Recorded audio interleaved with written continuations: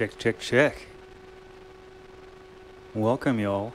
I'm just seeing in the in the live chat where everyone is. This is kind of amazing. We're going worldwide here. How is everyone today? This evening, this morning, wherever you might be in the world. Um, just let me know you're getting the video and the sound okay. And hit me in the chat. Um, and as soon as I get that confirmation, then uh, we'll be rolling. So just let me know you're seeing this and hearing this, right? What are we saying? Ben Brooker, what up? Um, I'm just checking on my end, making sure I can see. Cool, thank you, David. Appreciate it. Okay, great. So, um, we have about about a hundred of us here now. Um, so there's a a whole lot more to come. Hopefully, people drop in um, during the session. And it's a it's a real pleasure to to be here today, um, to be able to share with you all. And you know, this is something I do quite often when I'm on tour, and obviously, tour hasn't happened for a while. Uh, so it's great that I can do this, you know, digitally, and um, and share it this way. Yes, Svengali, the Thelonious poster is behind me here. Thelonious Monk live in Italy. Love that record. um, and uh, oh, a bit of background noise apparently. Interesting. It's all clean here, so let me let me check one thing. One second.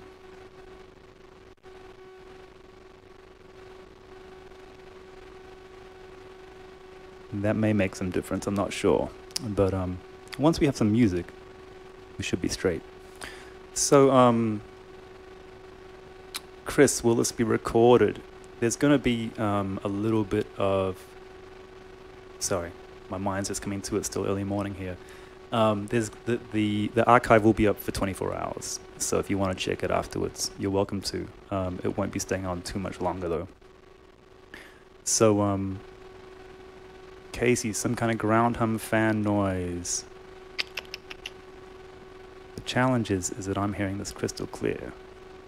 But like I mentioned, once we have once we have sound music going, we should be cool.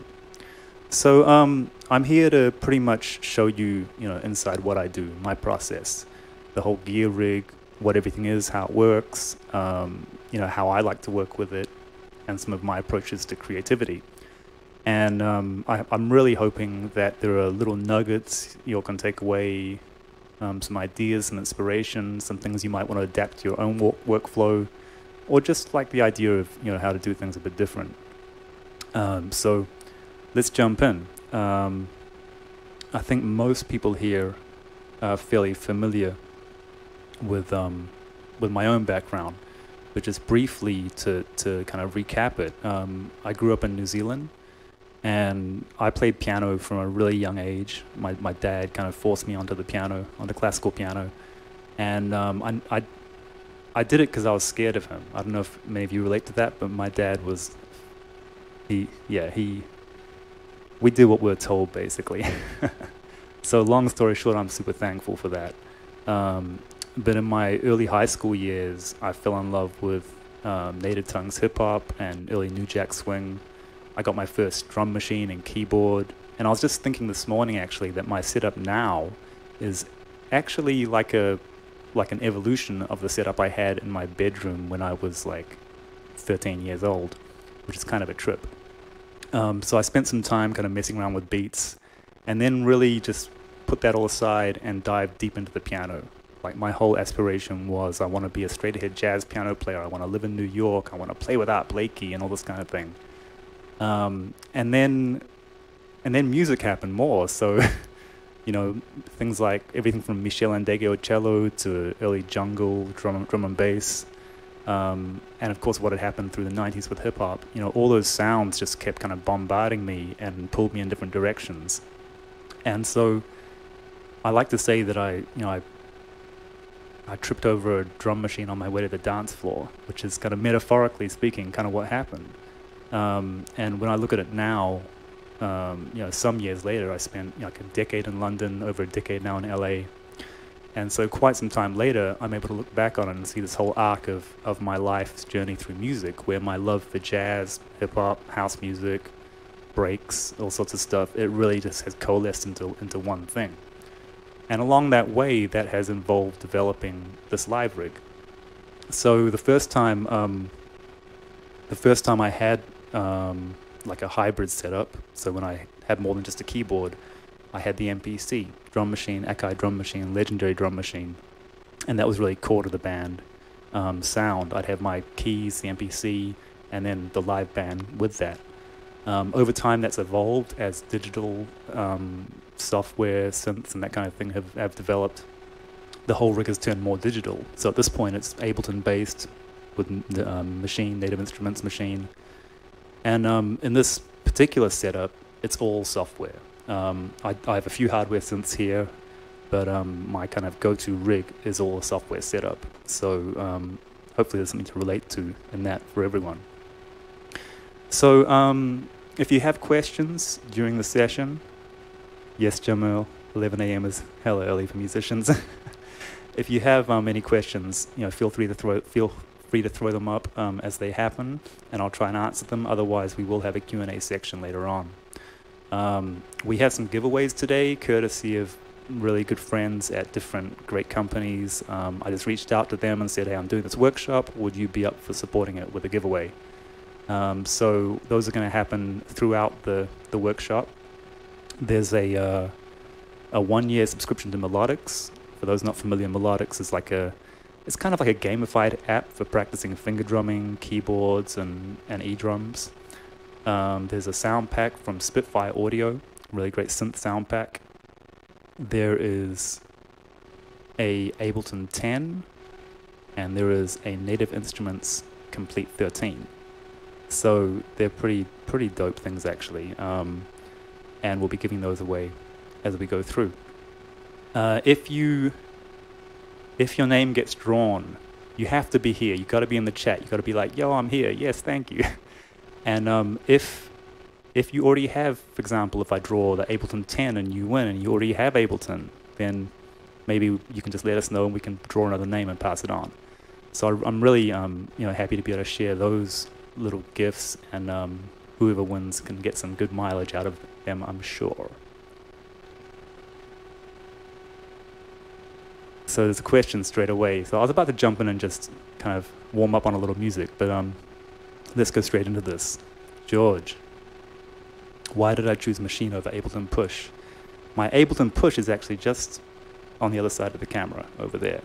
Um, but there are reasons, and it's in my it's my, my workflow, which I'll show you, um, kind of uh, breaks down some of that reasoning.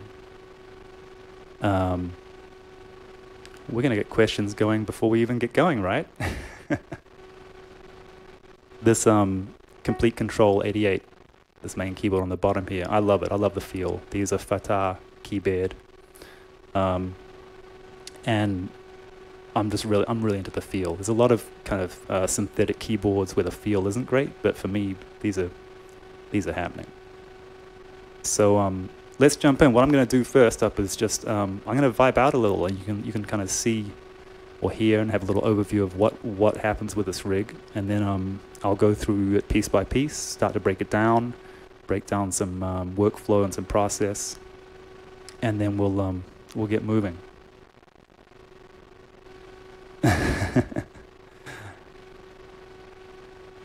I love. Word. I have horror stories about using a computer live. And um, I can look back on my dad's strictness and appreciate it. But those times when things went wrong with the computer live were just, they were a death knell. Um, maybe we'll chat about that later on. but that is funny. Um, the MPC 3000 and the Maschine are completely different. Completely different. Um, I still have my 3000 and the sound is incomparable. The sound is incredible, but the workflow with the Maschines just is far superior to me. Um, so you know, for me, the MPC is something I'd pull out now and then if I wanted to get back into that sound or or um, actually last time I used it, you know what I did? I just armed the armed the MPC into into sample mode, and I ran breaks through it and recorded them straight back into the DAW. So I was using it kind of as a preamp, um, pretty much. So okay, let's jump into a bit of sound. Um, here's the rig. So I'm going to just vibe a little bit, and then um, we can start breaking it down and, and chatting it through. Yes, Earthling Swing, the MPC 3000 is so warm.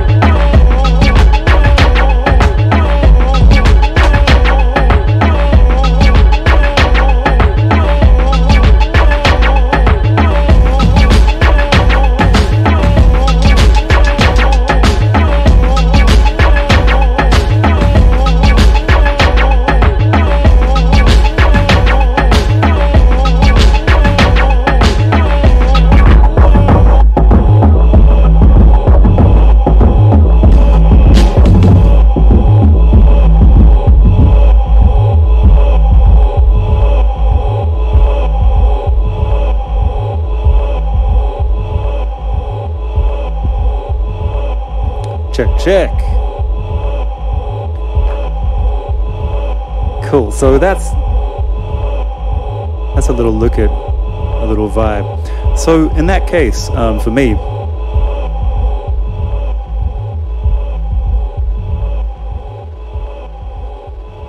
there's very little consciousness about what I'm about to play um, and how I'm going to create, like as far as musically speaking. You know, the idea is that there's a template, which in this case is both on Ableton and kind of physically set up through the controllers. And I'm a you know huge believer in that and having you have your templates and your setups so you can jump straight to it. I kind of liken that to you know if you played guitar and and um, if your guitar was always in its case, then it takes that little bit more extra effort to get the case out of the closet, take the guitar out and practice. Or even worse, if your guitar didn't have strings on it, and in order to play, it, you had to string it up first. Um, it doesn't make a whole lot of sense, right? So it's the same with a digital setup, um, or any setup. Just really, I'm a big advocate for maximizing everything you can do to um, make the workflow smoother and and easier. Um, I'm just scrolling back up through some of the some of the questions which we have going already. I was really going to just have a Q&A section, but I understand that you know there's going to be some um, some questions as we go. Jamil, I'm with you, man. I mean, whatever you want to use to create is is perfect. Like, there's no rules about it's got to be this, it's got to be that. Um, so, absolutely, hardware versus software, they're both great. I used to say just hardware, but these days, there's definitely some great software there. Um, So yeah, let's knock out a few of these questions before we get to the actual breakdown. Whatever you need for a live performance, um, it really depends what kind of live performance you're going to be doing. If you're going to be basically playing the track, but playing a little bit of instrument instrumentation, or if you're going to be creating the whole thing on the fly, you know, those are very different circumstances. So, um, you know, I think Ableton Live is a great place to start and try different USB controllers and you know see what what works the best for you. That is the secret, Anatoly Ice. Yes. So um, I'll probably put the, the Ableton metronome on when we when we jump back into some stuff. But for performance, yes, I have click in my headphones. So if I'm working with a drummer, um, with the when I'm with the live band, I'll be splitting the click. So I get a click on my in ears, and the drummer gets a click, and we can kind of go in and out of um, in and out of these kind of vibes. Um, word. Definitely recommend learning a little bit of keys. Actually, on that tip, let's um. Speaking of learning a bit of keys, let's jump straight in and do do the first giveaway. So melodics some of you might be familiar with Melodics. I'm not sure. But um, it's a really cool app, especially for those of you who haven't um, who haven't had much experience playing keys, or if you have an e drum kit, or you have some pads, you like finger drumming, you want to get into it. Melodics is a really cool way to to um, practice that. It's kind of gamified practice. There's beats on there um, by people like Odd Kid Out, DJ Spinna, Jazzy Jeff, myself, so many other people, all genres of, of kind of beat music.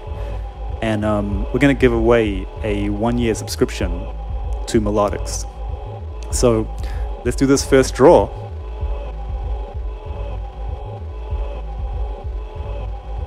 Hey, let's see who gets this.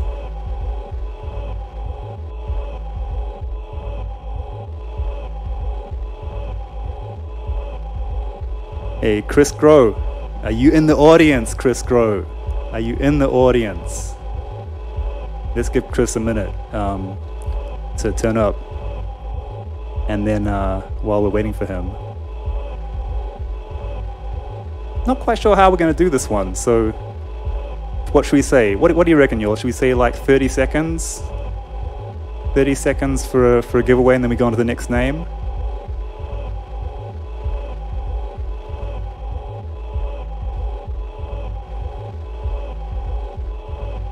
Okay, we're about to go to the next name. Chris Grow, you got about 10 seconds to hit me back.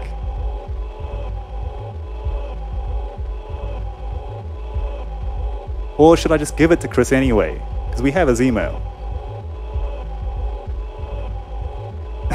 Svengali14. There's only one Chris Grow on the list I, I checked, so um, if that's you, you got it. Alright. Let's move on then. Chris Grow. Mona Lisa, please make a note of um, Chris's name. That'd be great. Okay, so um, let's just hit a few of these questions coming up before, because this this live chat is firing with questions. Um,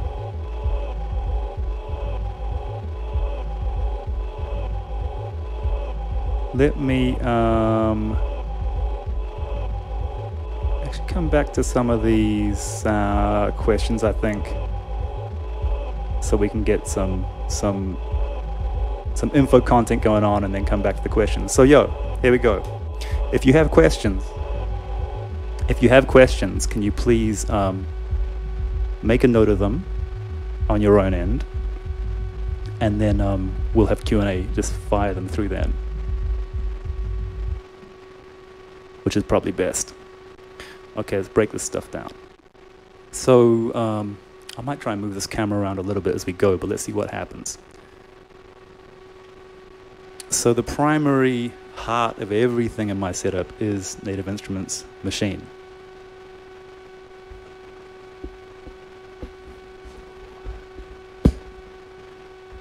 Sorry, a little little re rearrangement here. Excuse the the noise. Here it is. Okay, so Maschine is, um, for those of you familiar with the MPC, it's basically very similar um, in layout. Functionality is quite different. But um, it's essentially laid out like a drum machine. It's a USB controller for the Maschine software. And um, the way I have this set up, uh, my, my whole kind of motivation with all this is to get off the computer. You know, the computer is the heart of it, is, is running everything, but I don't want to be stuck on the computer.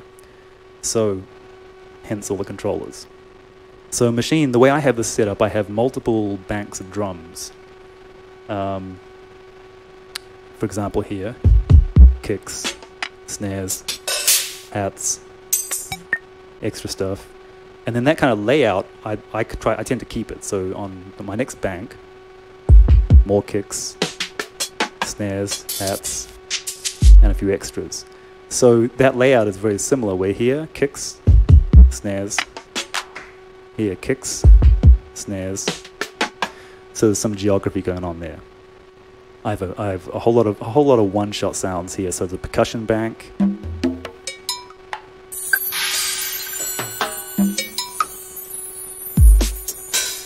And so on. So these, these, are, these are just banks and banks of sounds. Um, then I have extra banks where I've taken breaks and cut them up.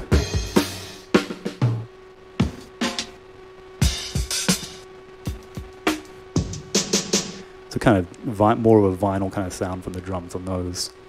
And then I have this, this group here is really core to how I work. Um, and it speaks to the question earlier of why do I use Maschine over push? Um, push is a great tool. I'm a, I'm a big fan of it. Uh, for what I, how I like to work, I do find Maschine does um, serve me better. So this bank here is where all my basses and keyboards are.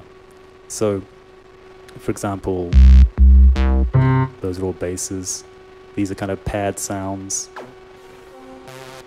These are lead sounds. And the beauty of Maschine is that once you once you select one of these, so say this one here, then we've got that on the keyboard straight away.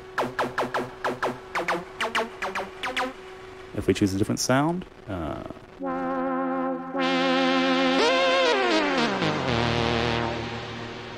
another one. So this is useful actually not only with melodic sounds, but also um, drum sounds. You know, if I'm looking at like, as a tambourine. You know, it gets pitched immediately, which is really convenient if you want to be programming with different pitches. So whatever I play on the keyboard is um, sequenced back into the Maschine as MIDI. So on the Maschine, I have it set up in four, by default to four bar patterns. You know, I feel like four bars is a decent length in, in the in the whole kind of idea of loop music. Four bars is a decent length to get some good repetition and some good variation happening at the same time. So, you know, for me, the the loop is it's one of the most beautiful things. Like, you know, when you when you hear like a two bar loop, when it's you hear a Dilla beat, you can have that on all day. You know, if, if the loop is right, it just it just feels right, and you can go on and on and on. So the way Maschine works is basically I'm overdubbing MIDI. So if I go to a empty space, um, and there we go. So say we've got four bars here. Let's go here.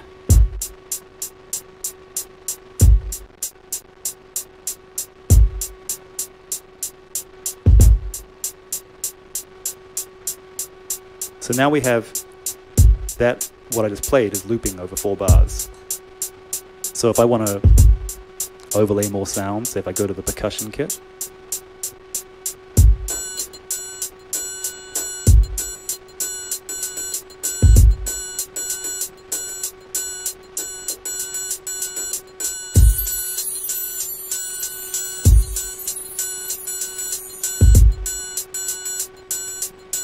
Maybe I want to get one of those break kits in there.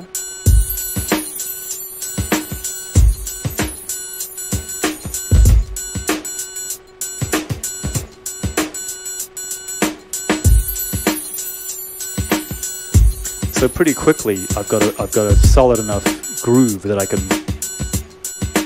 is you know it has enough vibe for me to create off. Get a bit of, get a bit of note repeat tam in there.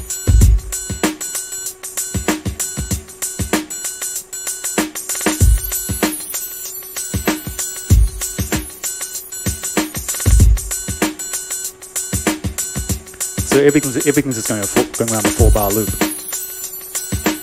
So now if I want to get some, some of the music in there, as far as what I'm looping in here, um, we can get a bit of bass, I guess.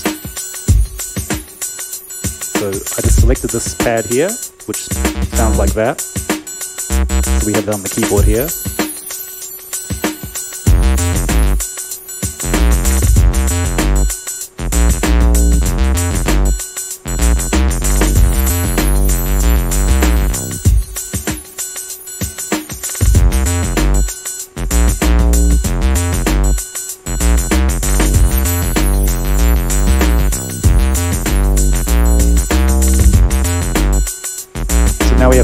Loop gun with the bass. Um, could lay a couple more keys in there just since we're here.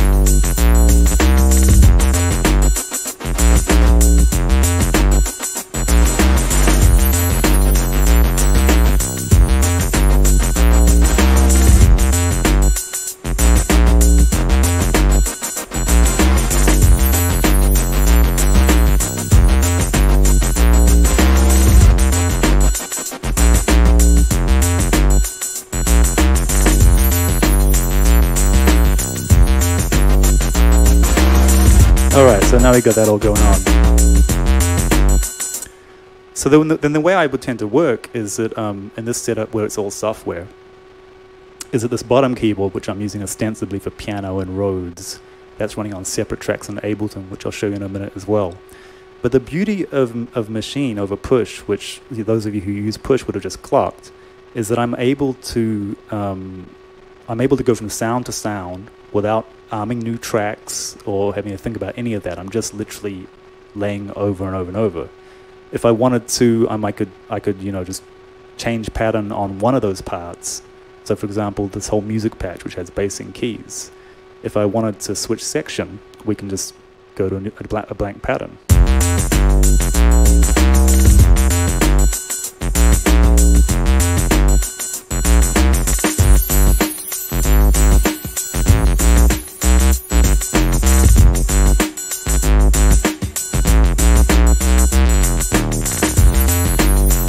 So you can flip flip back and forth, flip back and forth pretty pretty easily. um, and quite smoothly. So Maschine is really forming the, the hub of all this. There's very little, little that's going into Ableton outside of Maschine. So then if we go to the Ableton screen, um,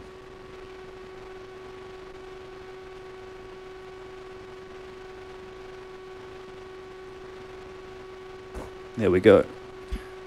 So you can see the Ableton setup here. Um, I'll, I'll, I'll pretty much explain everything. For users of Ableton, it'll be somewhat familiar. For those who are not, um, it, it may make sense, I'm not sure. so Maschine is living here on one channel here. So the whole of Maschine is right there.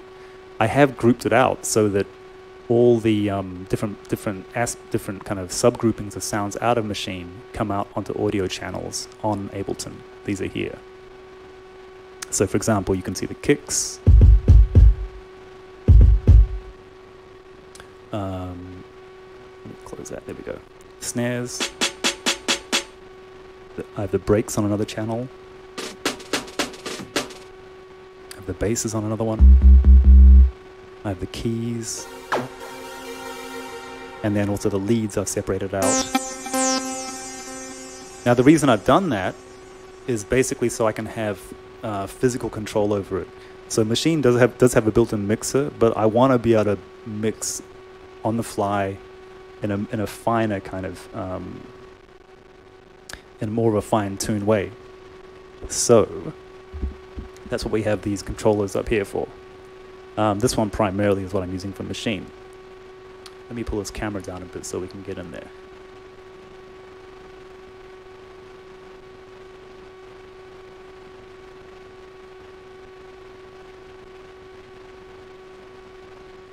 Okay, not the closest, uh, not the closest image, but you'll get the picture. So we have eight faders, and then we have three lots of eight knobs on each one.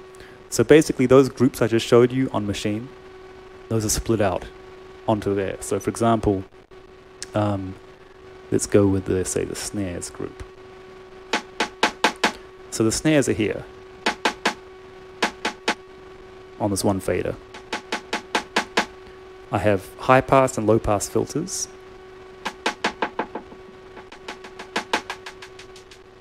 And a global effects. And that's similar for every every one of these, which is like I've got kicks, snares, basses, pads, leads, and then everything else over here, which is hi-hats and percussion and that kind of thing. So it's really simple when I'm working on, if I've got a beat going, if I want to get some effects running um, live, then as far as that kind of universal reverb and delay goes, it's right there. So this is on the hats and percussion.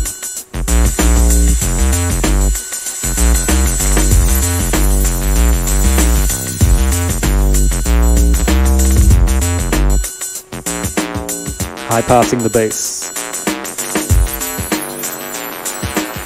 That's universal effects on the bass with a high pass on the bass. So this really gives me a lot of physical control over what's happening live.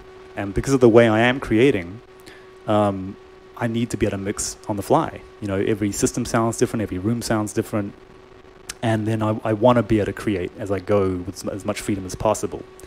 The universal effects are somewhat limiting. Um, and when I say, you know, universal effects, we're talking about just reverb and delay. It's very simple. I have um, on my main A and B here and here default reverbs basically default reverb and delay off Ableton. Um, so those are those are just sitting there ready to roll whenever I need them. Now, if we um, return to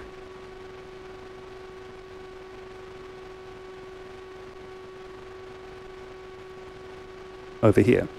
Um, this Akai MPK, I'm using this primarily as a, as far as the keys go, as a beat chopper and um, effects. So I use a plugin called Artillery for this, um, and I, I love this plugin. So basically, different keys are assigned different rhythmic beat chop values.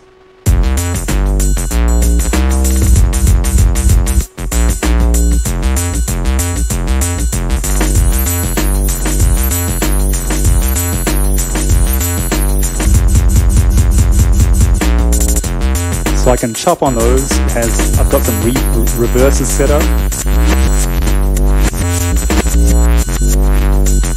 And then some uh, flanges, phases and flanges.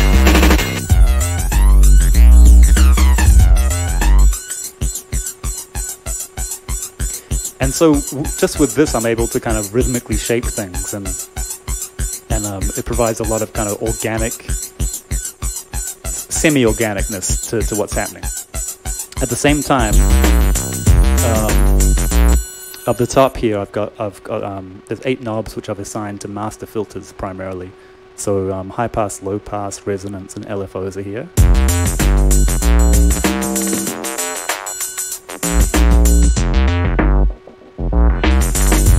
With resonance.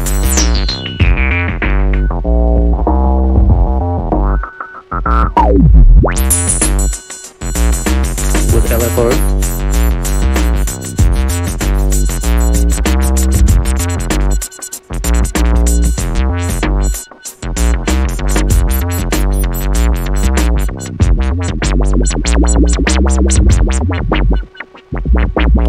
we end up being able to, you know, kind of sculpt the sound to a reasonable point.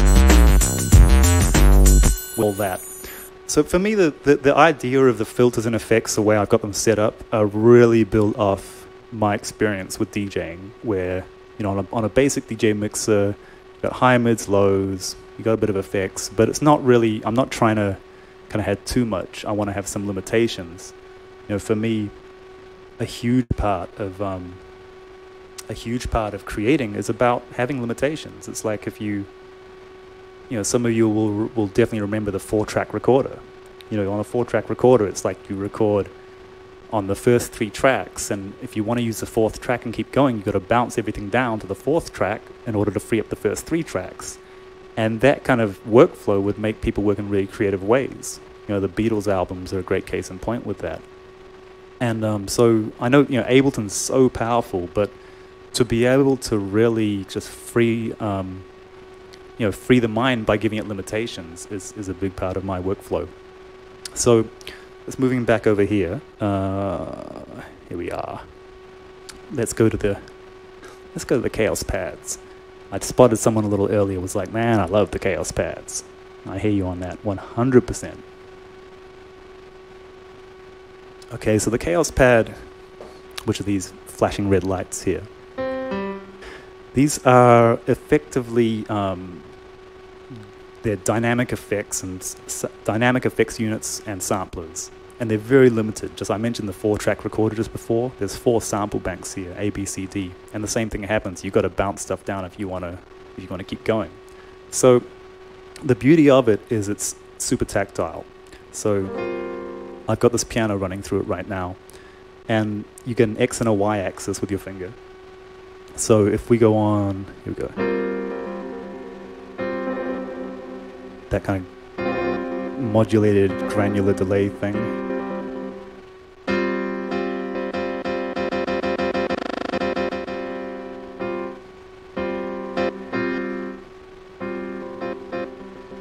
So wherever I move, we end up getting like a corresponding effects. So that's the effects part of it, and there's um there's a lot of presets, not a lot of um, variables within the presets, but you can assign different presets to the eight, eight shortcuts. The sampler is really where it comes alive for me, and again, it's very very limited. It can sample one, it measures in quarter notes, one quarter note, two quarter notes, four quarter notes, eight quarter notes, or sixteen quarter notes, and that's it. So it's, it's very very limited. So if I if I just sample, let's get a chord in there. So now that, that chord is right here. Okay? So we can start to kind of massage that a little bit with effects, maybe a little reverb.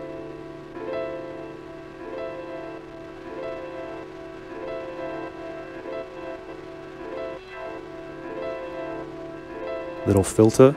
So I can resample it with, with the effects I'm doing.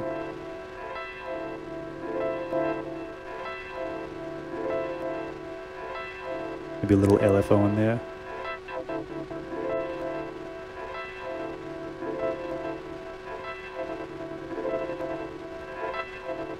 So now that whole sample's on that letter, on that one patch. So we, we could build on top of that.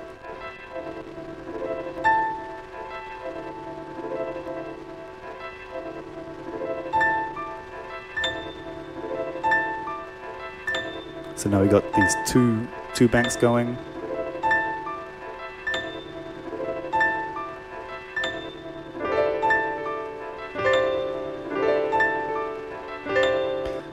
So now if I want to keep going to this fourth bank, I could do that, but then I'm stuck. I can't go any further.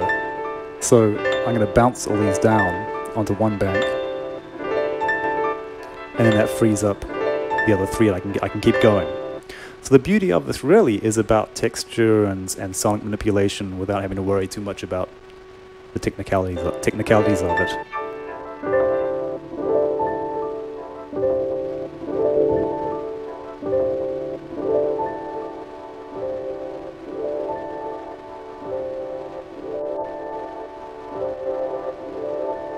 So now we've got a now we've got a, a, sample there, which you know is a, is the result of you know four or what four I think four layers of things with a little textural kind of manipulation along the way, and um, you know that sounds beautiful to me, and that that in itself is inspiring to create off. So I have two of these Kaoss Pads. You can see one on the left here as well. Basically, I have all of the Maschine output going into the left Kaoss Pad, and then the kind of live instruments, so to speak, going into the right Kaoss Pad. If I'm playing with the band, um, I'll have the drummer routed through there, I'll have sax and maybe vocals, so I can basically sample anyone live into a Kaoss Pad as we're going. The Kaoss Pads are locked, they're MIDI synced to the, the master clock. The master clock is Ableton. So then, if we look at, um, maybe get that beat back up and I can sample it into the left Kaoss Pad.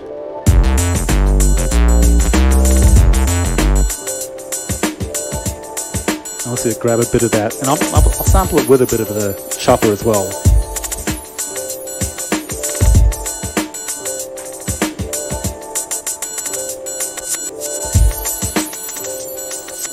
Okay, so now we have those drums in this Kaoss Pad here on the left. So let me just mess with that for a bit, kind of resample it a few times, get some layers in.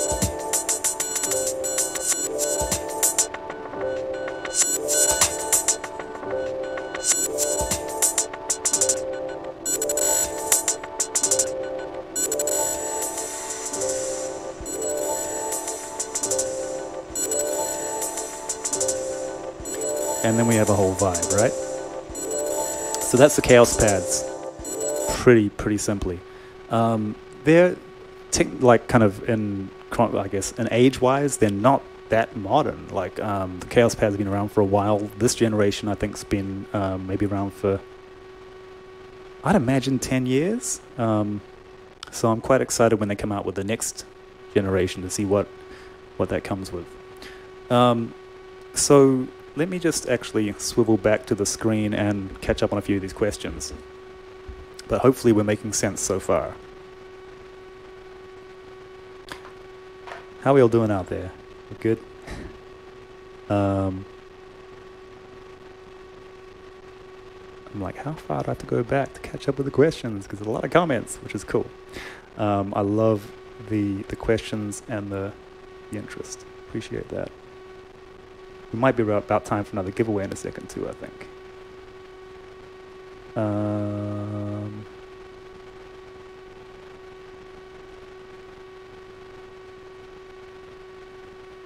okay, I think let's start about here.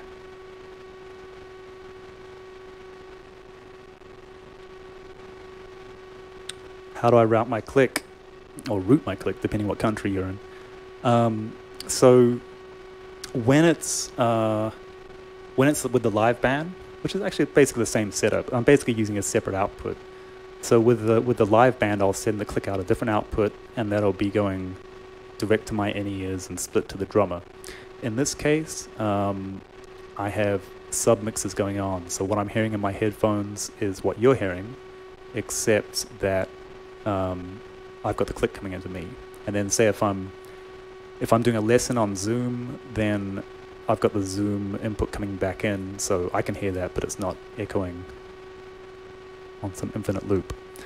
Um, reverb settings, we talked about that before briefly. So that is a um, default Ableton setup. Um, I can show that to you one more time just to, since we got it here.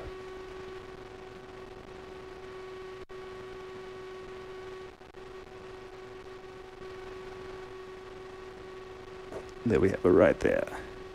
It's pretty simple, man. I just, you know, it's it's not that um that complicated. Like if I when I'm creating in the, in kind of more in the studio mode um, versus live, live on stage, I mean, um, then I'm I I change the reverb and really get it tweaked to exactly what I want for that track.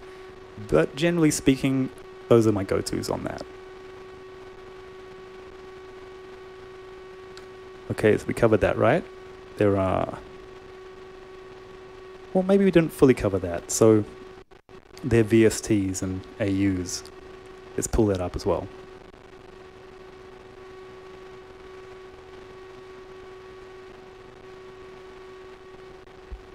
Okay, so let's on the right bank. So for example, what do we got? We have a this is a Korg plugin, Korg Lexington. This is an Arturia Mini Moog, G-Force Oddity, Kontakt, bass sample. Uh, Phoenix, that's Korg. This is actually off the um, Spitfires, one of Spitfire's synth packs that we're going to give away next, actually. um, G-Force String Machine, Oddity again, Korg. I'm using quite a lot of the Korg Gadgets actually on here. And the G-Force Oddity pops up a lot. I do like that Isotope. This Oddity, I'm going to mention, I'm going to show you this again. This, this is the G-Force Oddity. Really, really dope plugin. I highly recommend it. Um, so yeah, in this case, it's all substance. Um, you break down a track into stems and all loops in Ableton and have them set up in a template. Let me show you that actually. So, what I would do, and uh, this is a great example actually. Let's go back to the beat we had up.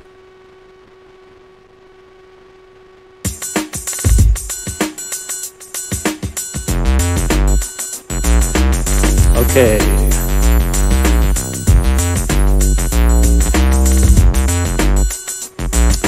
So we got this beat running, right? Now, as I mentioned earlier, let me just hide the returns. So these are coming out into these subgroups here in Ableton. So if I want to capture that stuff, then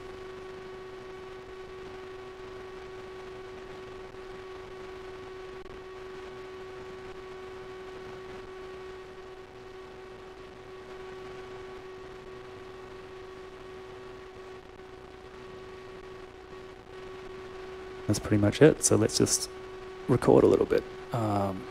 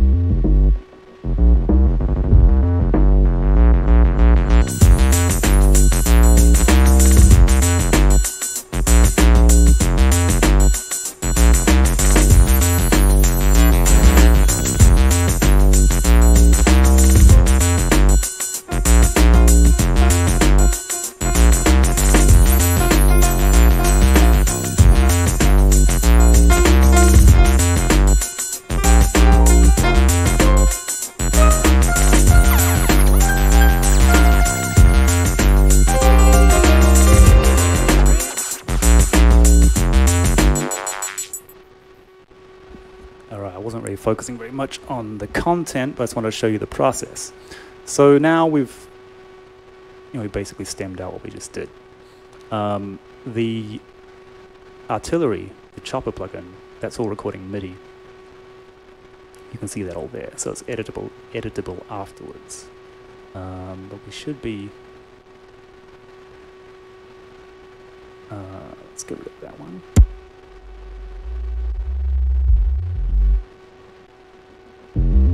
So that's what we just did, right?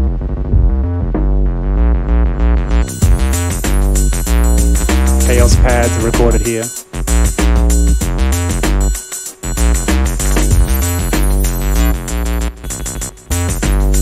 That's the left Kaoss Pad.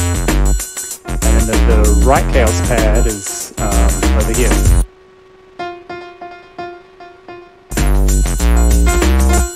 So if I'm in studio, um, if I'm working on a remix or a production, and I th this number of stems is not enough for me, then I just go into Maschine and root, it, root everything out more. So say, for example, that's what these tracks here are for. They're kind of blank template tracks, where I can, um, you know, I might send the hats to one of these and then split the different keyboards into different ones, and then I've got full stems.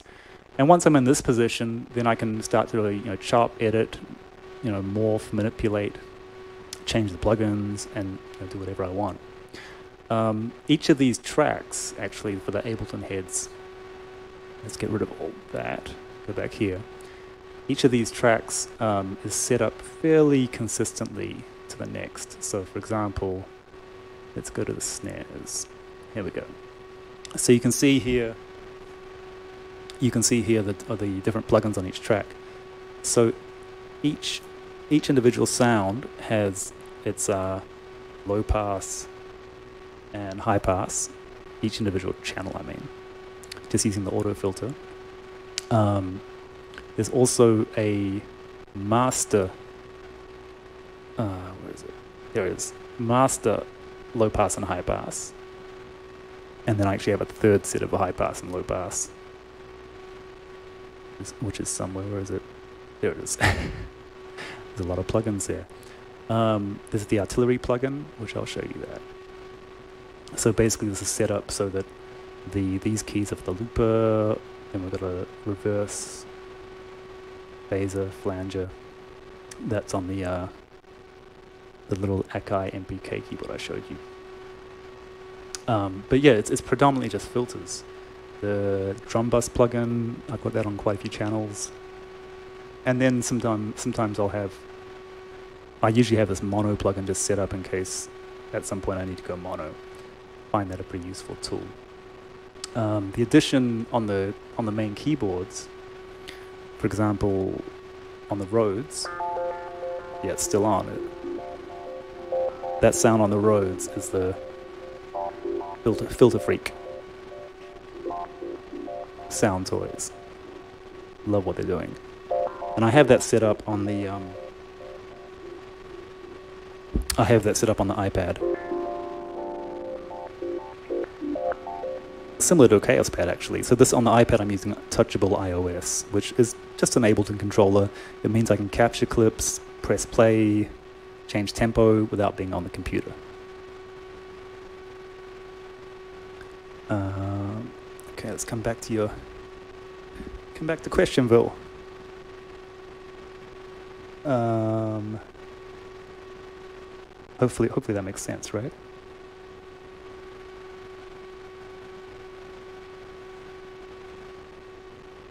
Um, so I'm just going scrolling through the questions.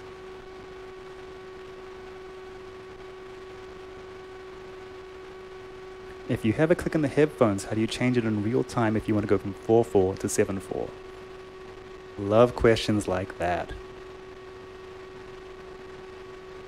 Okay, so if you see on the very left here, um, this channel is just, these are the clicks actually. There's a 4-4 click, there's a 3-4 click, there's a 7-4. Um, and so if I, I mean, when I'm, as, as the music's playing, I mean, if, let me think, there's different ways I would do it.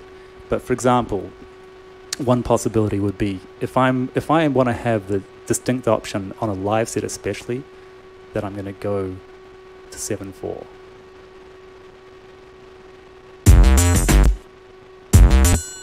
So as soon as I actually let's just hit, hit um put this back to 4-4 here. Okay, we're in 4-4. So if you because I put 7-4 in the master channel here you look at the uh, top left here where the time signature is, if we're playing,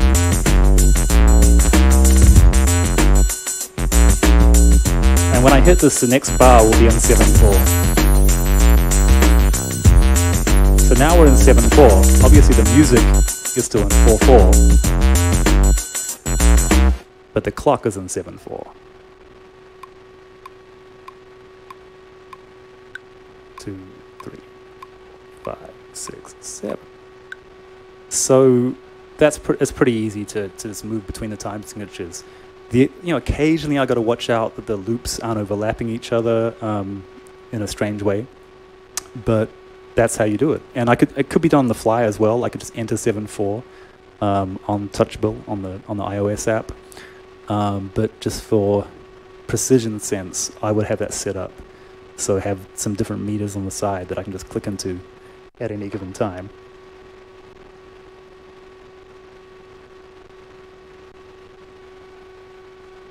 Hey, Jupiter. That's a good question, too. Um, I would say the simplest way would be to mess around with reverbs. A bit of reverb, a bit of delay, a bit of compression. Um, you know, I find that reverb is your best friend. It will just make things sit nicely in the mix. Uh, one of the first times I worked with a with a mix engineer a long time ago in New Zealand, and we were mixing a track of mine. And uh, you know, at that up, up to that point, the people I'd worked with, I was used to just letting them do everything. But in this case, he was making me do everything basically, which is great.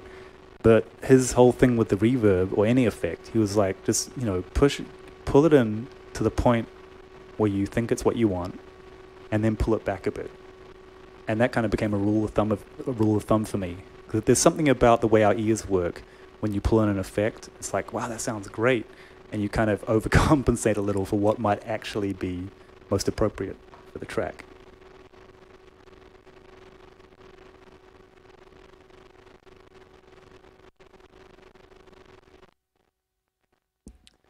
Um, I'm just looking through these. Uh, these questions, but Maschine doesn't work without the computer. Hence the beauty of Maschine Plus, which just came out, um, standalone hardware. This one here, the 3 I'm using, Mark 3, is not standalone. I actually just out a shot over here, I have the, the Mark 3 Plus, which is standalone. So I'm just kind of work, starting to work on that. Uh,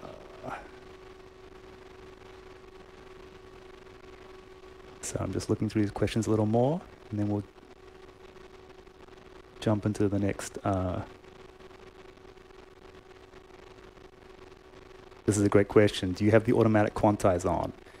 Quite, quite often, yes. Sometimes, no. It just depends what I want. Um, I think quantize is a really amazing tool. It's what gives us the, you know, what can give us the super mechanical kind of flow of, of electronic music and then other times, especially like mid tempo, down tempo, if I want to get more of a kind of behind the beat feel or have sounds flamming more, meaning that they're kind of just missing each other and creating a like a sound together. Um, so you know you hear two two rims there. They're not quite together, so that kind of thing. Um, so you know, but yes, I do, and no, I don't. Depends what the vibe is.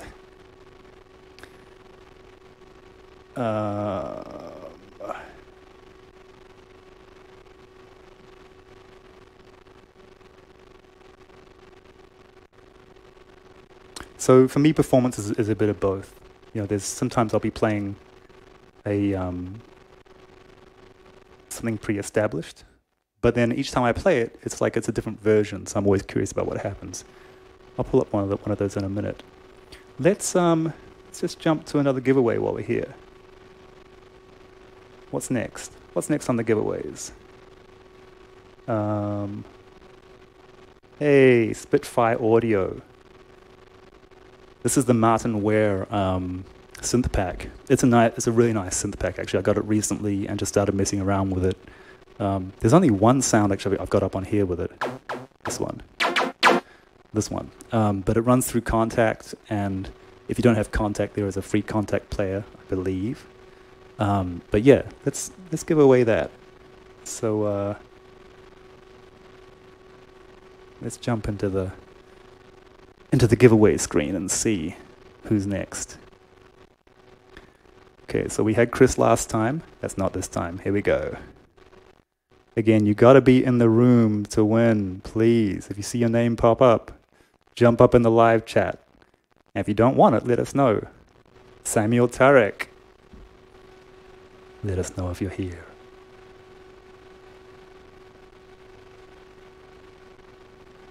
Nice one, Earthling. Yes, the Kontakt player is free. I love that. Um, Samuel Tarek, you in the house? You in the house? Drum roll, yes. Um, let's, let's, let's, let's, let's, let's, let's see if he's here, you know. Samuel, Samuel, To Samuel, come in. Yeah, Jupiter. Kimbra's setup is crazy. Um, that's while we're waiting for Samuel. Um, Kimbra and also Moses Sumney. There's a few few people who are using pretty cool um, setups. I think the TC Helicon hardware effects unit is a real favorite for a lot of vocalists.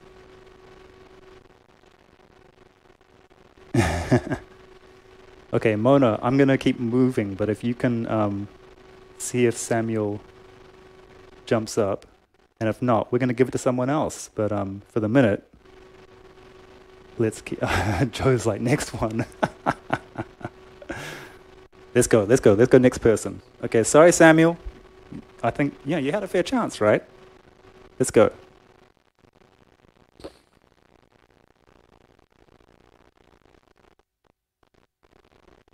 I know Chris Arning's in the house. I know Chris Arning is in the house. Congratulations, bro. Chris Arning gets the Martyn Ware giveaway.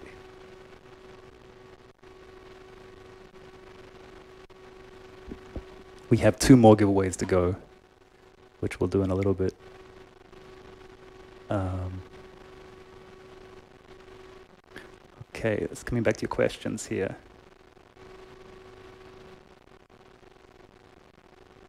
Those are some great questions here.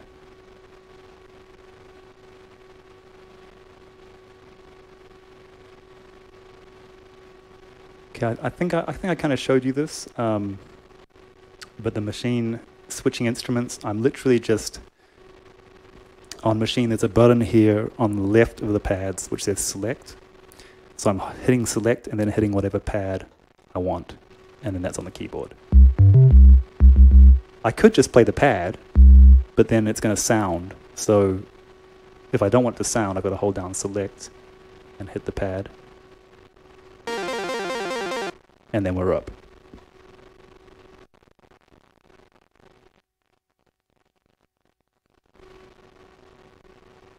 Changing the click tempo in real time um, on the iOS app which is down here, touchable.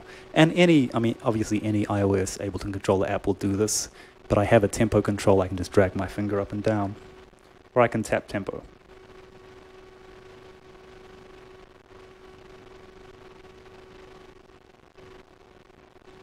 Ah, Maurice, what's up? Yeah, I did a session for With Love from LA, a live stream. Um, how did I have all those guests on?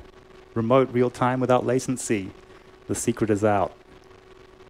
It was a pre-record. um, I recorded the set live, and you know, like a one-take live thing, and then had them fly in their parts.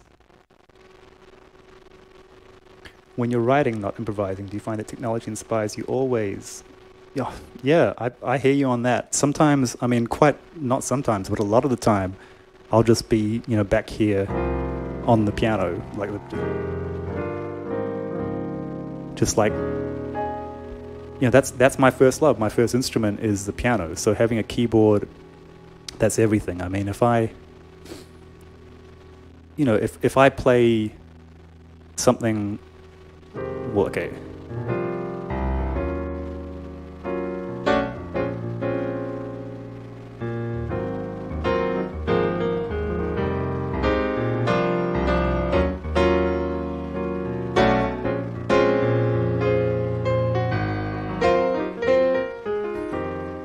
Know, that's that's the the harmony from a joint of mine called Heaven, and I'm a, I'm a big believer that, you know, if you're create if you're writing music, and um, and I, th- I think it kind of transcends genre. Like if you strip away all the production, the, the the composition should still stand. And I mean that's even like it could be minimal techno. You know, if it's a strong minimal techno joint and someone plays that just on a piano, you're going to recognize what it is if you know the tune. So I think that's really important. Um, sometimes I'll get inspired by a sample. Sometimes I'll get inspired by a groove, like a beat rhythm. Other times I'm just practicing the piano and, you know, maybe something will come up. I might be practicing, you know, a certain harmony, like a, a certain, certain color of chord. This is a major 7 sharp 11. So if I was practicing that, I was going around the cycle,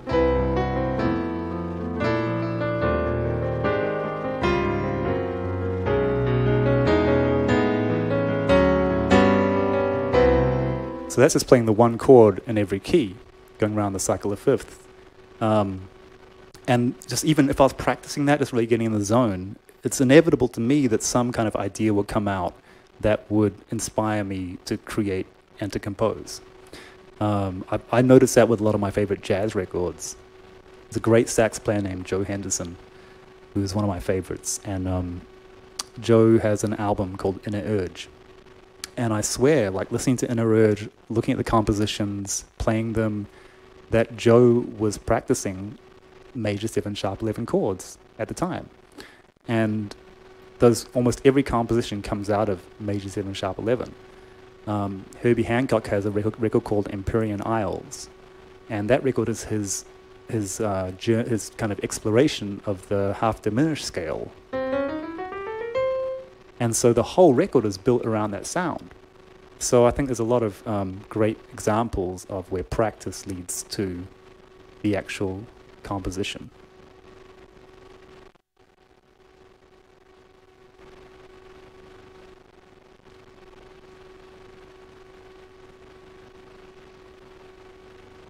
Enough said. How do I practice these days? Um, I, I don't pra- well, I've been practicing more recently actually. Generally, for me, practice is mechanical, so I'm practicing scales um, and shapes, and then kind of just applying through creation. Um, one thing I do like doing is is subdividing. So I might have the metronome. Now, for example, let's do this. Um, let's pull the tempo down a lot.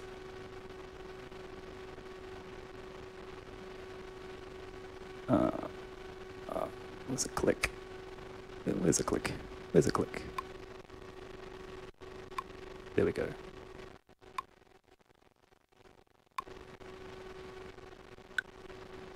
So, it's a really slow click. So one thing I've been doing, getting into over the last while is seeing, you know, understanding time better. So, for example, if if this click is beat one, and then I want to look at different time signatures. So for example, if I want to look at that as three,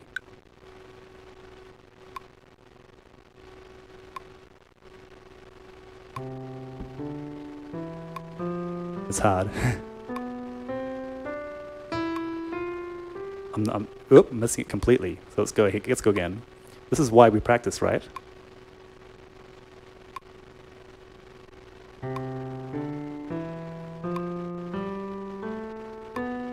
There we go. So that's three, then four.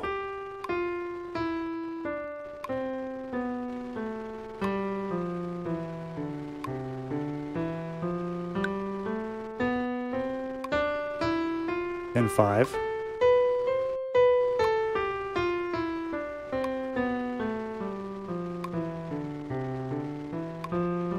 Six. Oop.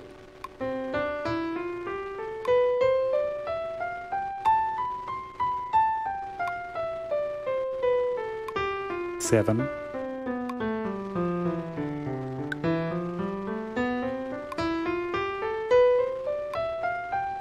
Eight.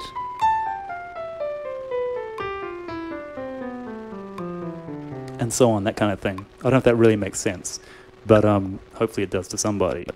But just the idea of looking at um, you know how, how the rhythms can break down in a really kind of simple simple setup. Also, I'll look at harmonies as well, um, and you know I might be like, okay, I'm going to sit down and play Phrygian for an hour and just explore melodies and Phrygian.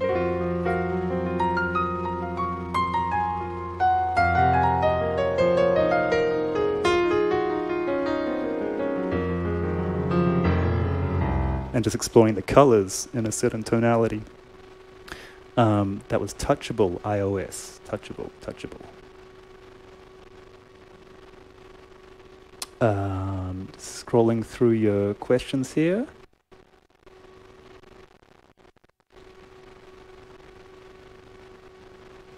Yeah, if, if the right hand column, the master column in Ableton, if that's set up right, you can set um, you can set BPM there, you can set time signature there, and as long as you're triggering it when you when you want it to happen, then you're good.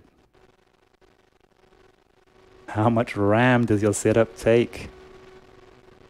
Yes, the setup can be replicated with a Maschine Mikro. The, the, the Maschine itself is just a controller. Um, the, the software is doing all the work, really.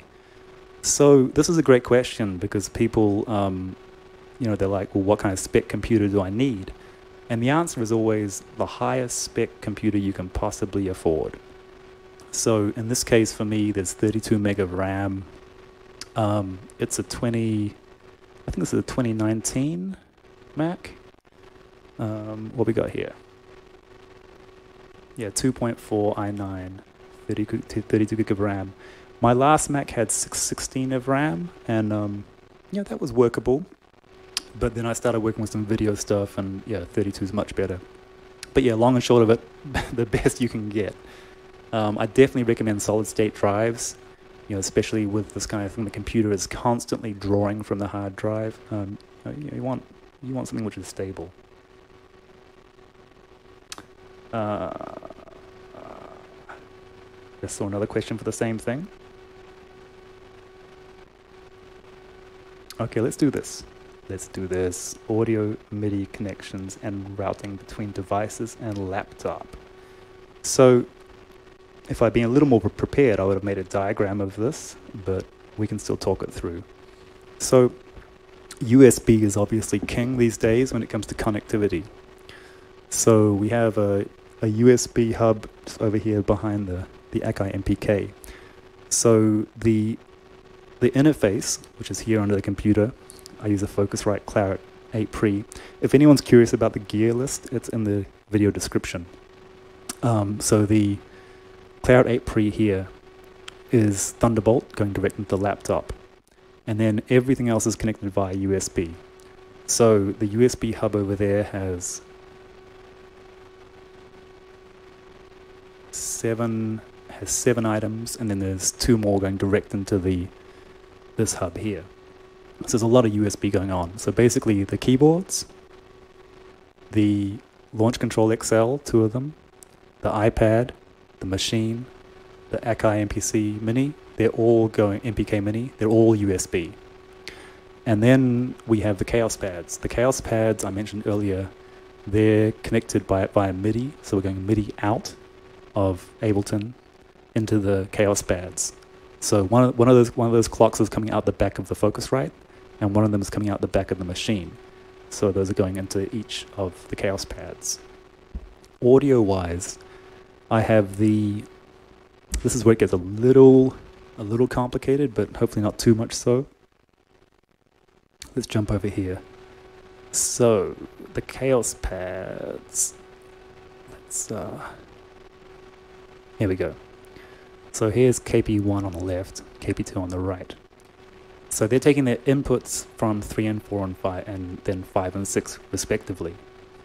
So what that means is is that if I want to if I want to send something to a Kaoss Pad, for example, okay, let's go. So all the native instrument stuff, which is here, all the Maschine sounds, you can see down here that the send E is at 100%.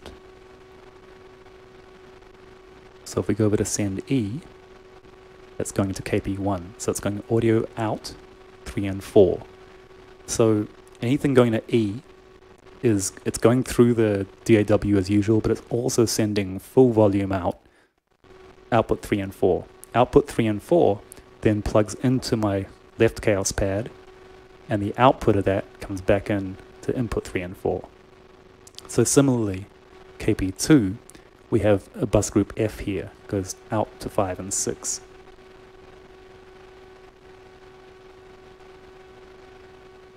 And then the input to KP2 is 5 and 6. So for that, I've got that on send F. So you can see here on the Rhodes and the piano, send F at the bottom, they're up here. I have those mapped actually. So that's uh, over here on these buttons here. So I can just send, if I want to send Rhodes or piano to the Kaoss Pad, I can. I can do it on or off at any time. Super flexible. Um, I think that's all the routing there is. If I'm if I bring in one of the analog keyboards, which I'm not going to do today, but I just have those coming. I just have those coming straight into the Focusrite, and then they're going into a live cha live channel on Ableton. Um, in the middle of the keyboard, this is a video switcher, so that's what we're switching cameras with. So nothing to do with the the music per se.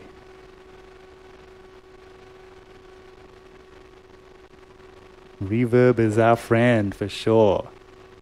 I think one thing I'd one thing I'd recommend is to not you know don't depend on it. Like you want it to, uh, you want the re- ideally you want the reverb to to just be like the seasoning, as opposed to the meal. Um, it depends what kind of music, of course. I mean, there's a lot of there are artists and genres where the the reverb is the whole meal.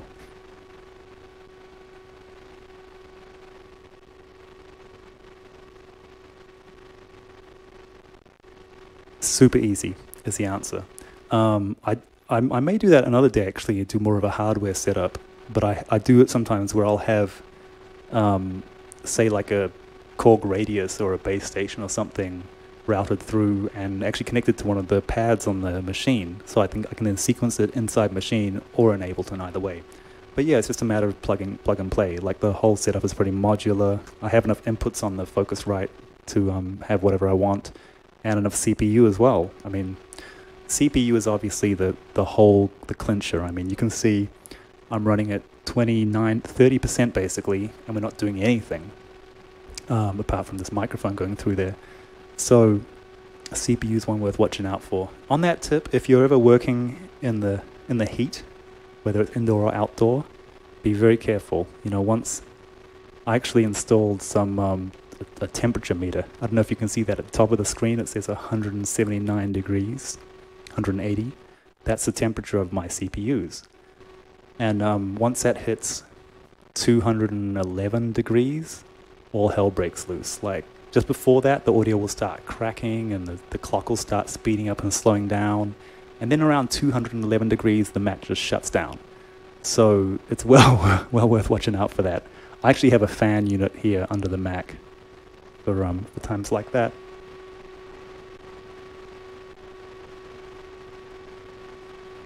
Yeah, that'll be interesting. Push 3 standalone. I don't think it's ever going to happen though, you know, because Push is all about Ableton.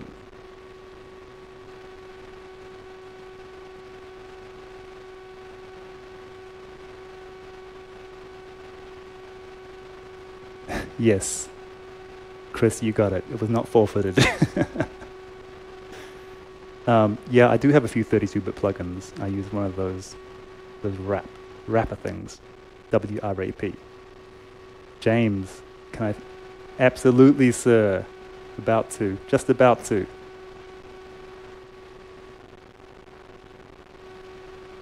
Um, okay, I think I'm at the bottom of the list, so we can get back to some music for a second. Oh, answer's yes. So I have a few sample packs on sounds.com. They're kind of keyboard loops more than anything. Um, also on my Patreon, which I'm going to mention a bit later on, there's sample packs on there as well. Uh, and MIDI packs. I did a, I did a series of MIDI packs for someone. I don't know what ever happened with them. Yes, I do. So when I when I do acoustic piano stuff, um, there's some YouTube videos. There's one series in particular called One Take, um, my One Take series, where I'm at a grand piano with some of this stuff on top of on top of it. So in that situation, I sample the piano into one of the Kaoss Pads. Um, occasionally into Ableton directly, but I just like the immediacy and tactility of the Kaoss Pad. So when I'm with the band, um, oftentimes I'll sample like the horn player and the vocalist and the key and the piano like into the Kaoss Pad and just start mashing it up. And you can hear that on the records on um, on Heritage and Church. You can hear that kind of thing happening um, here and there for sure. For guitar, um, I would I would probably recommend some kind of foot controlled looper, um, which is probably something I should be doing too, considering that my hands are more playing than anything. But I think with guitar, it's even more so. Your hands are on the instrument, and you probably want to use your feet. There's a lot of options out there. Um, the Boss, is it 505 or something like that, is great.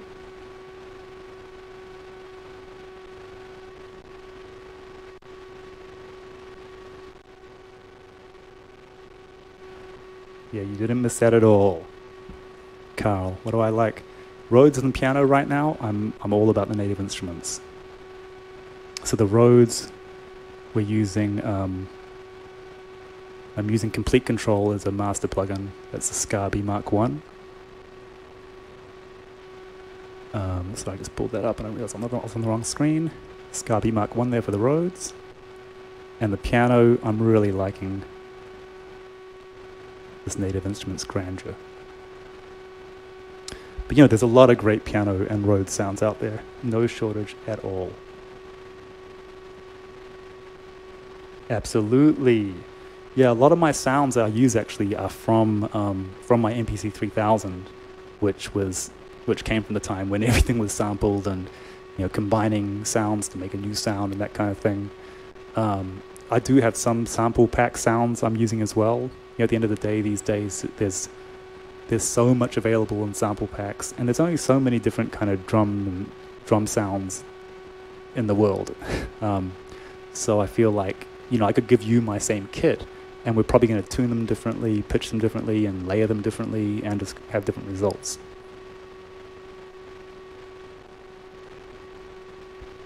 Yes, that's what I was thinking of. The Boss Loop Station 505. I recommend that for anyone. Okay, so let's vibe a little music, um, and we'll probably get to some more questions from that, and then um, and then we'll do another giveaway. I think it's about that time, right? So with this one, what I'm going to do is just show you kind of a simple kind of remix approach I've used, where uh, hang on, let me find this. Let me find this file quickly.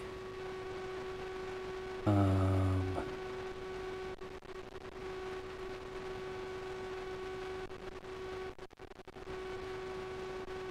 I thought I had it, but maybe not. This is where file management is everything, right? Give me one second. Here we go.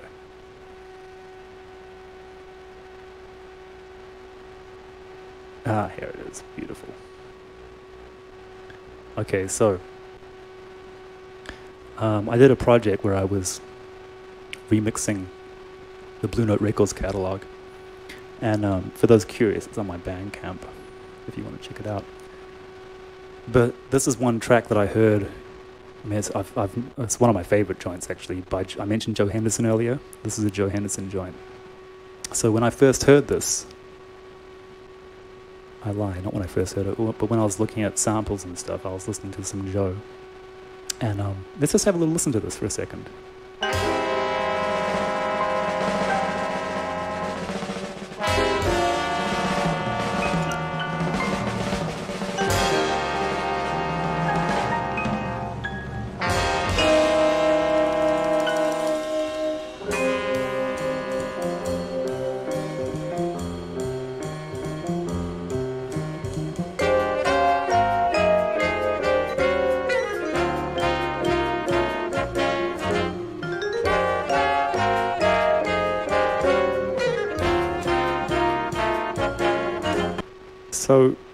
I mean, that for me is gold. Absolute friggin' gold. So if we just take that little motif and um, we chop it, change the pitch a bit, this is what we have. Whoa. Let's get a tempo though. There we go.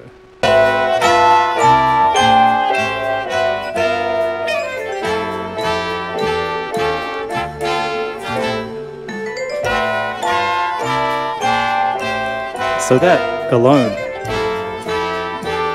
really just sets a vibe for me. Let's, let's, flip, let's flip this one.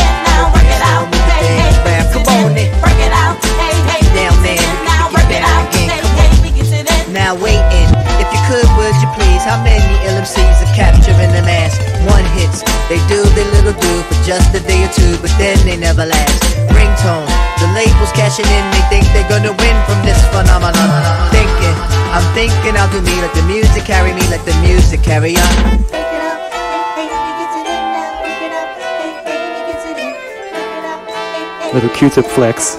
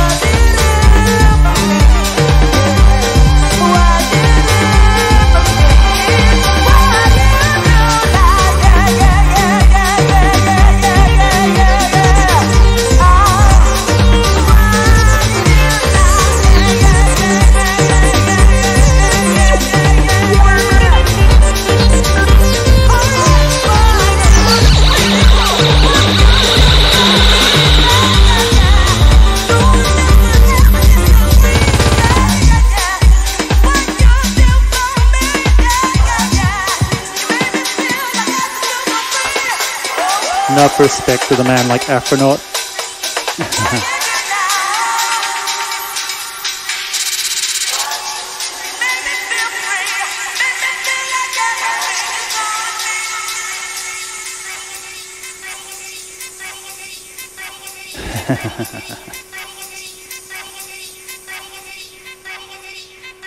There's a joint called Transcend Me. All the Bruckheads know that. West London broken beat classic, courtesy Afronaught. Um, I saw someone asking before, what was the the jazz tune I sampled before? It's a Joe Henderson tune called Black. Um, from I believe it's from Mode for Joe is the album. Um, so I'm just actually before I scroll back on the questions, let's do a giveaway. Yo, I'm really thankful to these these companies who I mean I, I get to work with them all, which is great. Um, but that they're supporting this and uh, helping y'all create is beautiful. So we have two more giveaways to go today. One is Ableton 10, a full license. It's not bad, right? and the other is Komplete 13 from Native Instruments, which is sound library galore. So, um, I don't know, let me know, what, what do you think? Which one should we give away first? Hit me in the comments. Which one do you think?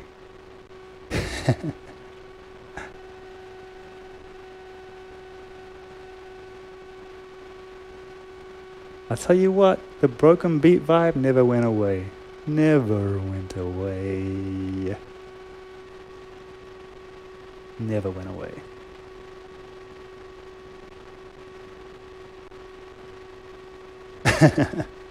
one person's like Ableton, one person's like Native. So I'll tell you what, let's do, they're both really great um, giveaways. So let's do Ableton. Let's do the Ableton giveaway. Ableton 10. Um, I mentioned this earlier, but should should you win this, if you already have Ableton 10, please let us know in the chat because we will pass it on to someone who doesn't have it. And you know you know that person's going to appreciate it a whole lot. So, let's go. Ableton 10.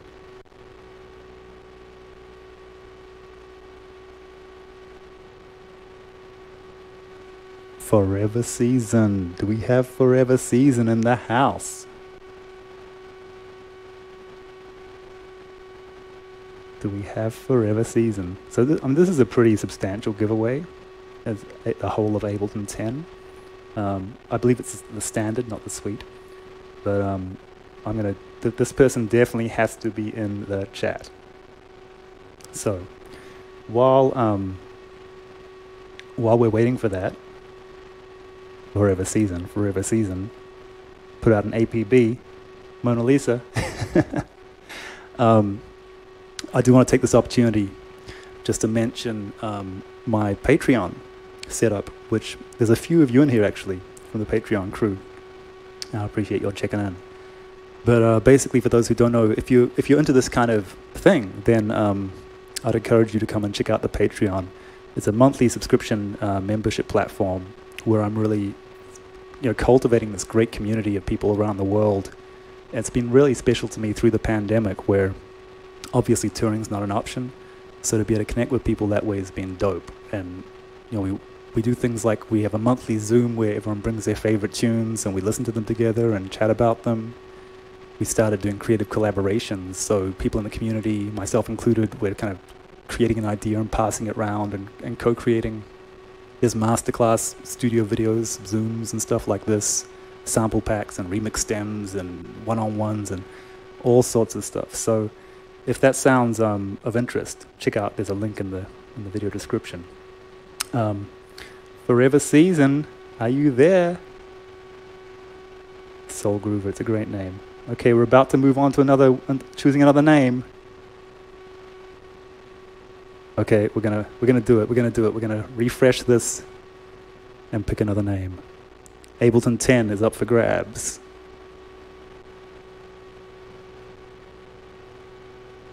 Sam R. Um, Carlo, no, the names are selected from everyone who registered. So if you registered, the name's selected.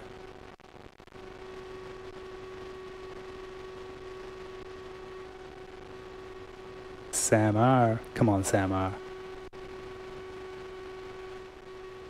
Degracia, I see you. I see you. I can't control the picking, I'm sorry. I had to make sure this is absolutely foolproof and no favoritism from me. So, um, let, let's let's give Sam R a few minutes. Um, Mona Lisa, if you could just keep sticking the name in the chat um, now and then, that'd be great. And um, if no, if there's no Sam R, we're gonna we're gonna draw it again. Um, yeah, one hundred thousand percent, James. I mean, obviously, you know, we talk about this a lot, but the live stream will never be the, the live show. But also, I think the live show will never be the live stream. So this has been a really interesting time, and I, for one, am thankful that the pandemic didn't happen when we, like 20 years ago, you know, no broadband. That would have been crazy. Um, okay, we're about to redraw this. I think we're about to redraw. Oh, Mona Lisa. He owns it, so he's going to pass. Okay, let's pick another winner. I love that. Thanks, Sam. Appreciate you being cool about that. Dum dum dum dum. Gotsa Mokaena. Shup shup. It's our South Africa crew. Man, I, I miss South Africa. And I would love to give this to you, but you you gotta be here. You gotta be here.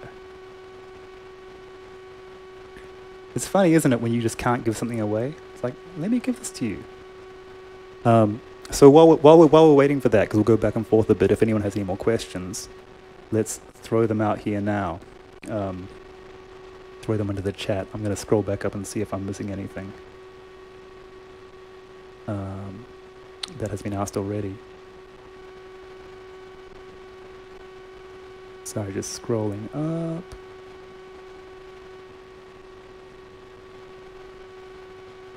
I'm glad you all enjoyed the transcend me flip. I'm just seeing all the all the love in the chat.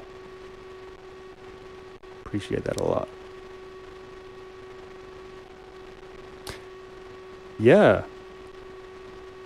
It's all in the box. And um it's interesting because I personally I was so anti soft synth. I was an 100% purist. I mean, my early 2000s UK setup was like the MPC 3000, Fender Rhodes, Hohner Clavinet, um, Korg RADIAS or the Korg MS 2000, sometimes a Korg Poly 6, but it was all outboard. It was at one point I was touring with a the original Roland vocoder rack as well, um, and I, I just loved the sound of it. And then when soft synth, soft synth started happening, I just wasn't really feeling it. I was like, no, it's not the real thing. I don't know. And and then I had a session in London. I was on tour. I'd already left the UK, but I had some downtime in London, and I went to one of my favorite studios to to work for a day or two. And right before the session, the engineer hits me up. He's like, "Man, um, I'm sorry, but all the keyboards are down." I'm like, "What do you mean all the keyboards are down?" How can all the keyboards be down? He's like, yeah, this, they're all down. Like, there's something wrong with all of them. But don't worry, I have some soft, synths. And I was, I was not happy, but I'd booked the studio, I had nothing else to do, so I went into studio. And um, my, the engineer there, he had the entire Arturia collection, um, I guess the version one then. And I must have made, I made almost a whole album that day, or those two days. Um, and all the tracks ended up on an album I produced for a for a singer from the states named Sy Smith. Her album Fast and Curious. Pretty much that whole record was made over those two days, and I just I fell in love with the soft synth thing. Then just realizing how how flexible it was, and and from then it's just gotten better and better and better. So at this point now, I'm like, yeah, I can I can achieve you know analog vision through digital means, and at the same time, it's like, you know, my my Roland Juno 6 and stuff like that will all is irreplaceable. I mean, those those hardware synths are so special. But in the workflow of um, you know creativity and keeping it moving, I've got a lot of time, obviously, for software.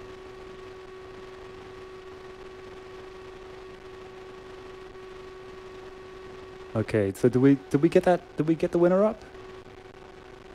Or should we draw another one?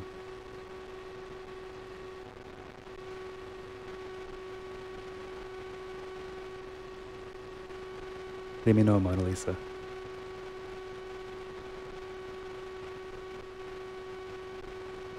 Rainbow. Yeah, so it used to be completely different. Like I would, I'd have my gig rig, and then my studio setup would be just kind of regular, regular, I guess. And then when the pandemic started, uh, we started lockdown in LA around March 13 or 14, I'd say. And I realized, I mean, when that happened, I was actually adamant that touring is over, like it's never coming back. And I'm still pretty adamant it's not going to come back in the same way we had it before. It's going to be, it's going to look very different. But that's a whole other conversation. But anyway, I felt like, well, I'm not going to be gigging anywhere. I'm not going to be going anywhere. So let me set up my rig. And so I set up my live rig at home, pretty much for the first time. Like I, I just don't, I don't set it up. It stays in its, in its, in its uh, gig bags and stuff. And consequently, I don't practice the live rig. Um, I just practice on stage pretty much. But so yeah, so the live rig got set up pandemic, and then that became the studio rig very quickly. And so now the live rig and the studio rig are one and the same, except that, for example, you know, if I'm playing with the band and we're in a jazz club, there's a grand piano, then I wouldn't have this lower controller, um, and I might have a little less, but you know, fundamentally, I would still have, you know, Maschine, at least one Kaoss Pad, a, a synth controller like this controller on top of the piano, and the Launch Control XL. Um, and yeah, so I, it's pretty much the same, the same either way, actually.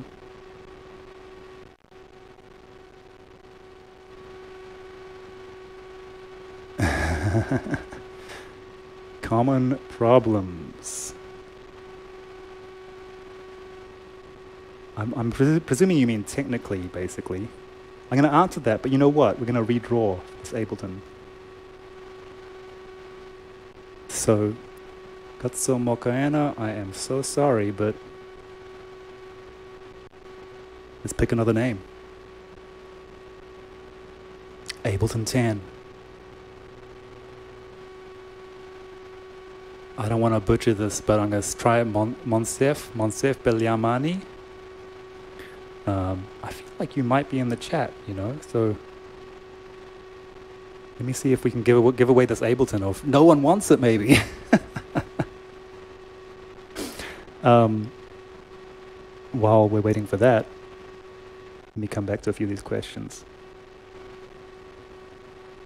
Oh, someone's in Kyoto? Man, I miss Japan so much.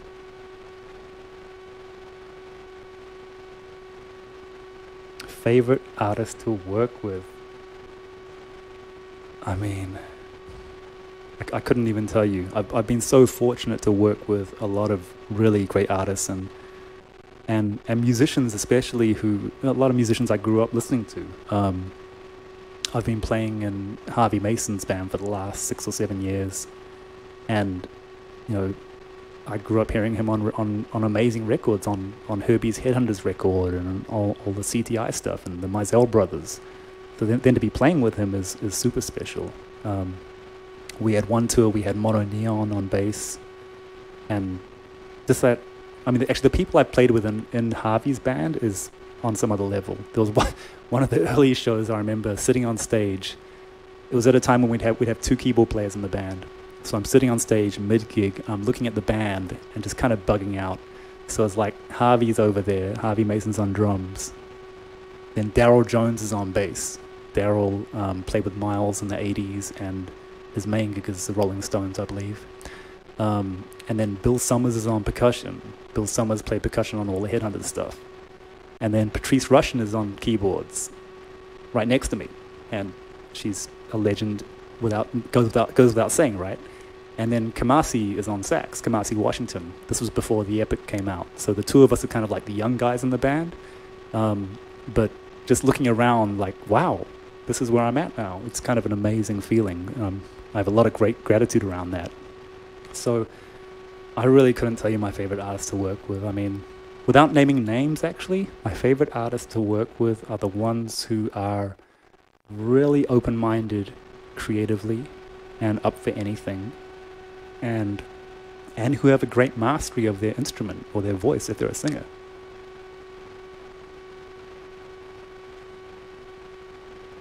Do we have that winner?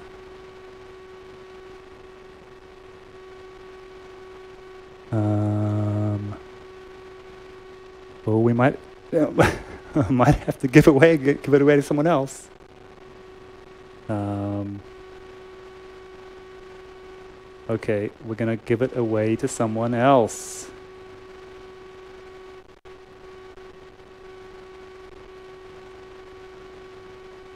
Um, let me come back to that that answer in a, in a second. I really want to give someone this Ableton. Ableton 10 is going to Yuri Belanov or Yuri? Yuri or Yuri? I'm not sure. It looks like about half the people who RSVP'd are not in the room, so their loss. Um, but uh, we'll, we'll, we'll give Jury a few a few minutes there. Do you have any chains on your Ableton Master channel, stock plugins or third party? I don't have a lot on my master on my master actually. Um, I'll show you. Very little. There's an L2. That's it, and a little bit of EQ. That's all there is. I mean, I could do some some kind of master bus compression, um, but in this in this case, which is primarily for the live setup, that's pretty much what I do.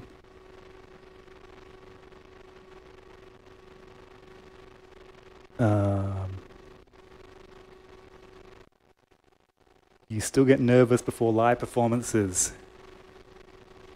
You know what? I, I think I do, yeah. Um, it's, it's a different kind of nervousness. I think when I was younger, it would be kind of a, an anxious nervousness, and now it's more of an excited nervousness, which is the same thing. I just think it comes with a bit of age and experience, so it changes. And so now it's fun to take that energy and kind of transmute it, transform it into something else through the performance. I mean, especially when there's an audience. But even a live stream, I get the same kind of feeling.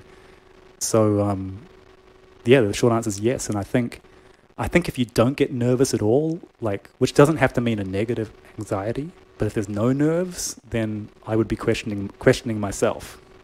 Um, and then you know, I couldn't even tell you what might happen if I was playing a gig and like Herbie walked in or something. I'm not quite sure.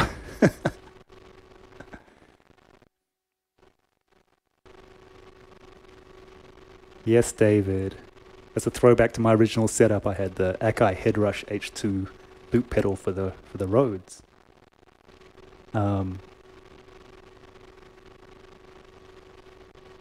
I'm just looking through these questions here. Jamal, is a lead that you use in Bushido. I think you use it often.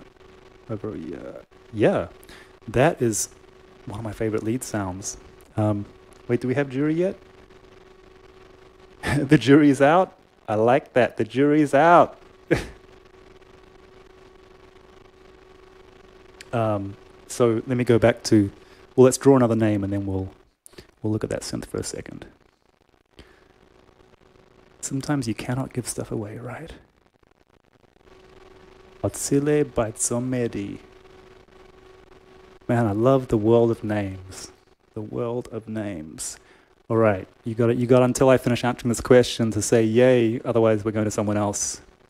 Um, so that synth is in fact iZotope. Um,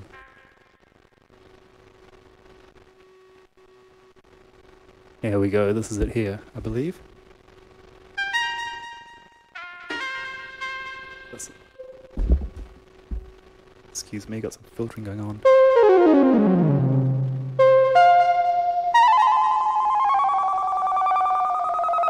I love it because the, the way the mod has the LFO and the pitch hooked up together. That's cool. And that is your answer, iZotope.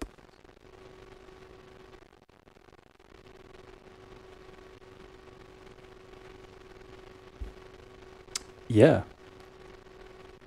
I mean, Joe, that's that's a challenge. Like, especially when you know, as my ears get tired, which I'm sure anyone who works in who's worked in studio can attest to.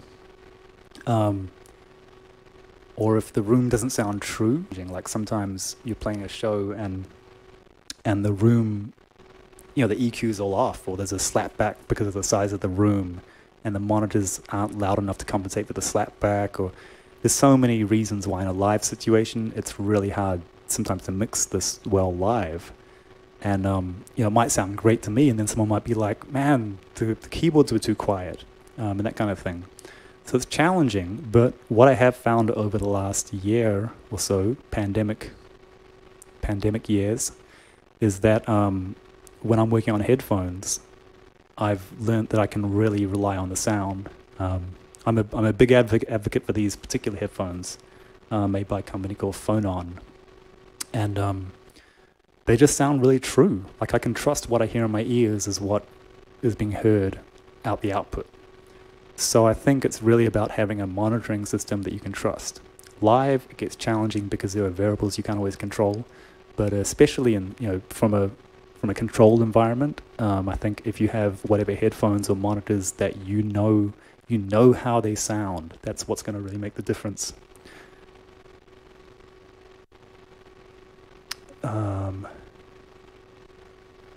yeah, that, that shit was crazy.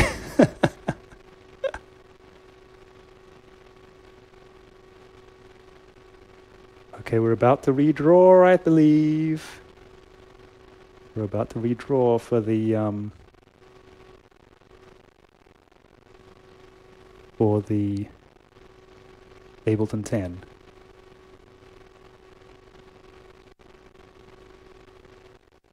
Gary Bart says jazz schooling is backwards.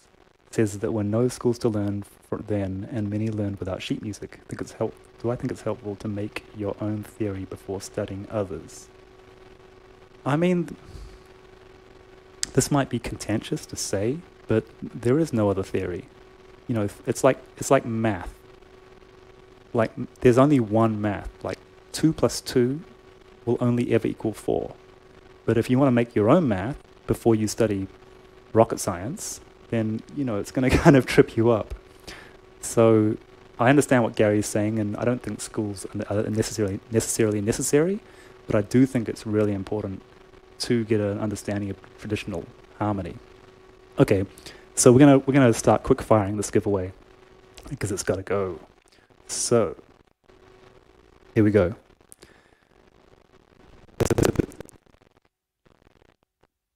Um, Andrew R. There's a tiny bit of lag between when I'm doing stuff and when you'll see it, maybe 10 seconds or so. So I'll give it like, you know, 30 seconds and then we're going to pull another name. Yes, indeed. That Jazz does use Phonon. Um, I have a discount code that I'll, I'll, I'll try and get out to you all as well if anyone's interested. Andrew R. You got a few seconds left and then we're moving on. Keep it keep keep the positive vibes there. It might happen.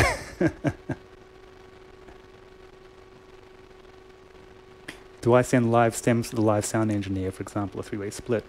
Um, I've had engineers who've asked for that, but I don't tend to do that. I tend to do take full control. Um, partly because how I like stuff routed through the Kaoss Pads. So if the engineer is able and willing, which really would be about having my own tour engineer and not using a venue engineer, but if they're willing to take multiple outputs and then send me back a mix stereo bus that I can use for resampling and for the Kaoss Pad and for effects, then that could work. But otherwise, I tend to just do it all myself. Um, but yeah, if I, if I if I was touring with an engineer, we'd definitely work something out with that. okay, let's keep moving on this Ableton. I know, I know you all want it and you all are here, so you know what I mean?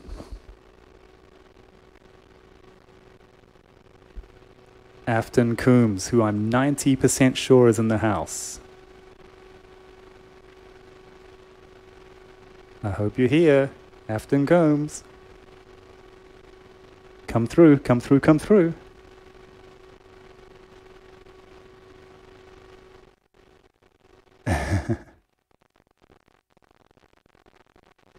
Seeing if I've missed any uh, qu- other questions there.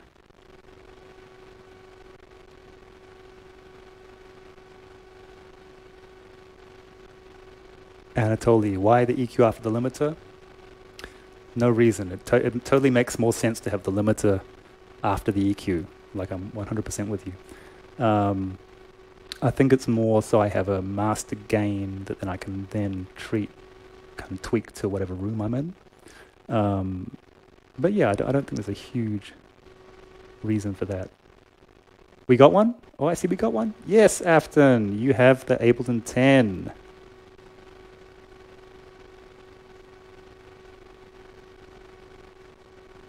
Congrats. The lazy P, you got to get out of here. I feel you. We have one more giveaway to do. Um, before we get to that, let's. Um, if there are any more questions there, otherwise I might might just vibe a little more. Um, I wanted to. Someone asked a question earlier about improvisation versus repertoire, so I was going to pull up a repertoire vibe for a second. Would I have any recommendations for a, guitarist who'd like to start experimenting with synths and programming beats? Um, Jappa Snapper. I mean, I would say that, um, yeah, get some, get Ableton running. That's it, pretty much. You know, get Ableton and have some fun with it. There's, there's so, there's so many great, um, you know, YouTube tutorials and stuff like that just to get the basics happening. And then you know a lot of people who are willing to do you know one-on-one lessons and that kind of thing. So i think that's definitely doable. Do i have a melodics promo code? Yes i do. It is mdcl20 which gets you 20% off um, part of a subs- of, of the first part of the first time period of a, of a subscription i believe but uh, mdcl20 if you want to check that out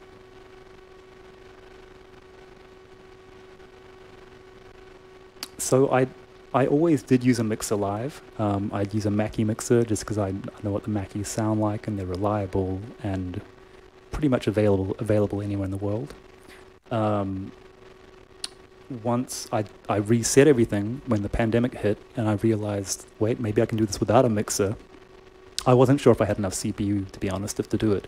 But um, now I'm seeing that I can do it without a mixer and just use the interface. So in this setup, there's no mixer. Live, I mean, I guess it depends also if I'm going to be routing, um, if I'm going to be routing like the like grand piano or the sax or the or the vocals and sampling them, then I do need a live mixer. So then I'd use a Mackie, um, usually a 16 channel Mackie, and use the group sends to be able to route stuff to different Kaoss Pads.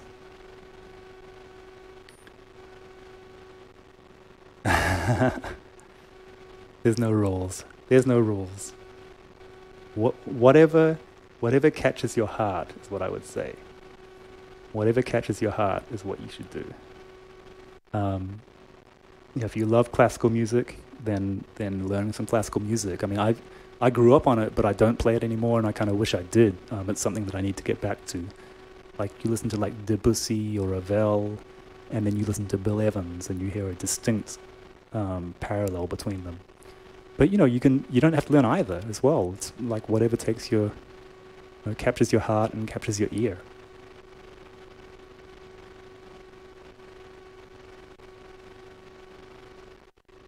What's the biggest lesson learned from performing live?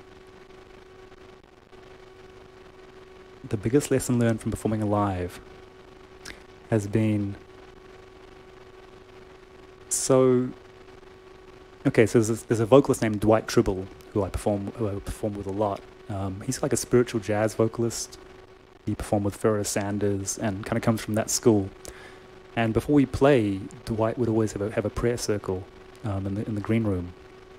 And part of that prayer would always be praying for us to get out of our own way. And that is the biggest lesson I've learned from playing live is that, and to kind of break that down a little bit, it's like if, you know, if I'm performing and then I start thinking about what I'm doing and basically inserting my ego in the process of what I'm doing, that's when the wheels fall off and everything falls apart. But if I can step out of the way, like with my ego, if I can take my ego and my judgment out of the picture and trust the conduit of creativity, then everything is cool and that's when the magic really happens.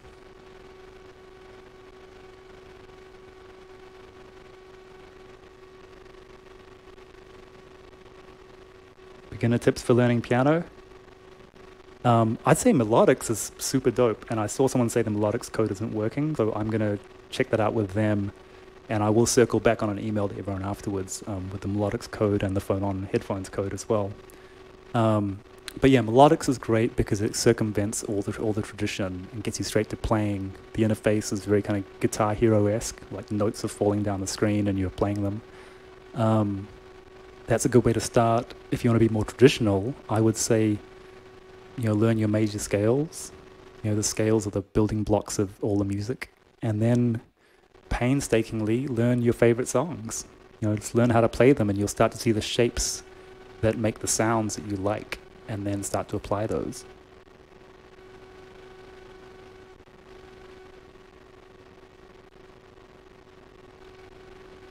Yes, I do.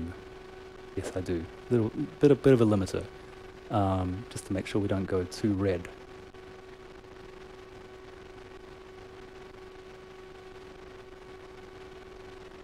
Hey, DeGracia, I appreciate that.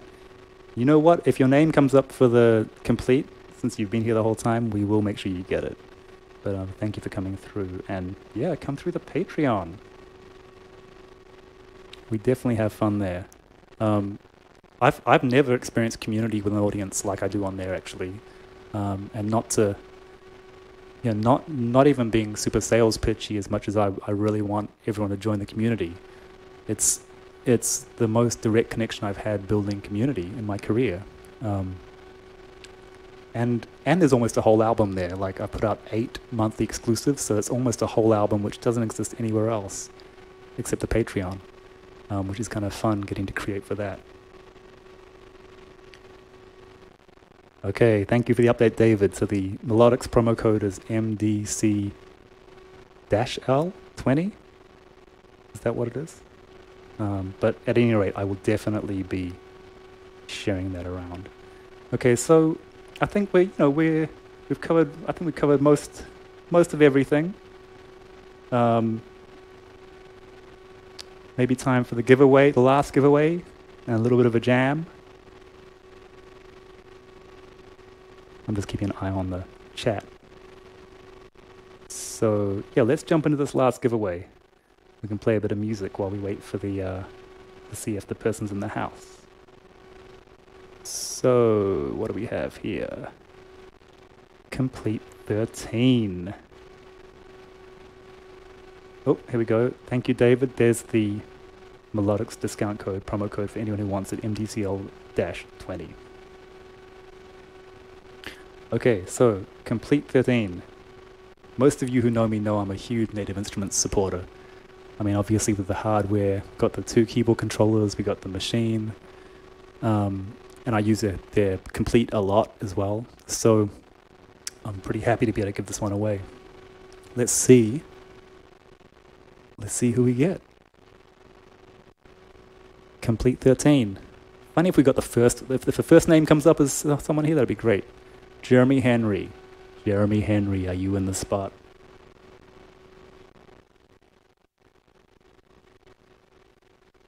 Jeremy Henry. Are you in the spot?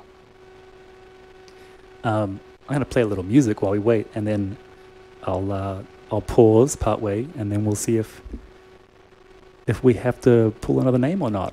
Um, so there was a question earlier about about repertoire, and so I'm gonna pull in. Um, let's pull in something here from my my album Church. I'm gonna pull in the horns from the horns from a track called Gazia. And then, so I, I guess this is this is what um, you know. This is what, in DJ's terms, you call a routine. Um, except that it's definitely a little different every time. Like I'm, I'm not trying to replicate anything, but I'm gonna do play a bit of Gazia, and then go into the mini the mini break, which is a little bit of music from a Minnie Riperton tune um, that most people recognize immediately. I'm sure you'll know it. And then we'll see if we can segue that into a bit of Soho hot music. So this is an example of um, you know having clear intention as to what I'm going to play, but really not knowing how it's going to come together, and just seeing kind of what happens with that. So let's jump in. Um,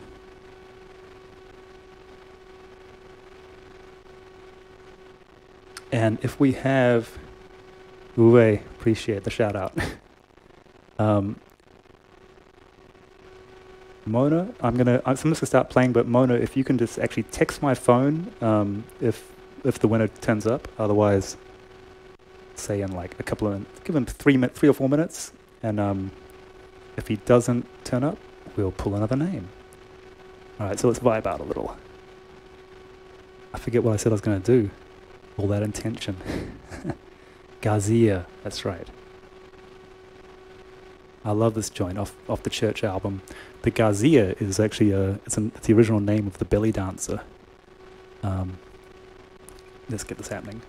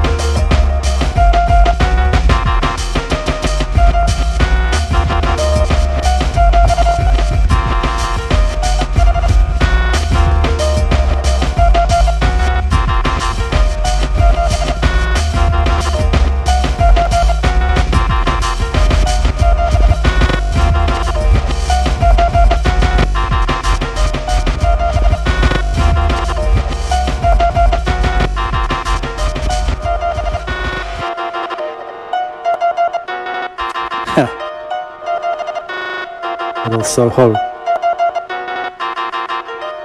Okay. Pedo Nop. Is that you saying I'm here? The Lazy P? That's you.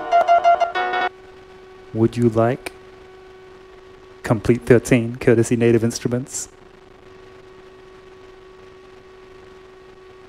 If you say no, we can give it to someone else. That's no problem at all.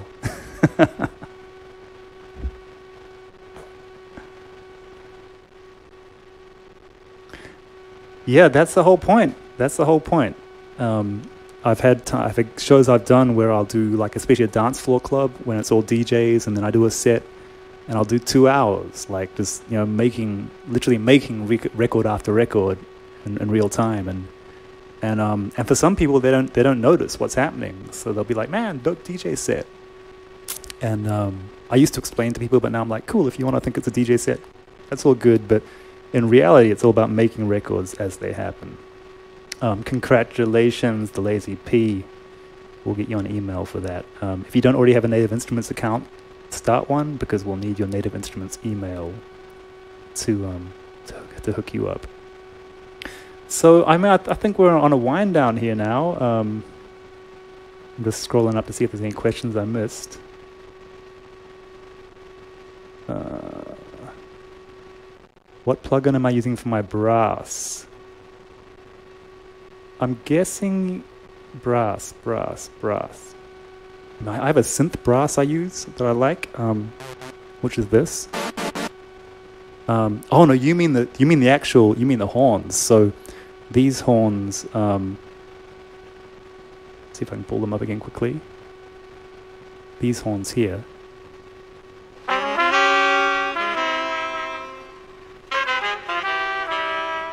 So those those are the horns from uh, my album Church, um, which is you can find that everywhere. Church was all about. It's named after my club night, which uh, was about to go ten years strong before, before the pandemic hit. But church is all about this um, bringing together all the worlds I love. You know, jazz, dance floor, beats, the band, DJ culture, jazz, um, and the album was kind of this culmination of all of that had some really have some really great musicians on there. Um, Nate Smith, Tim Lefebvre, Robin Eubanks, Miguel Atwood Ferguson, Jamire Williams. Um, it's it's really a special collection of friends and, and community on that record. But that's where those that's where that brass comes from.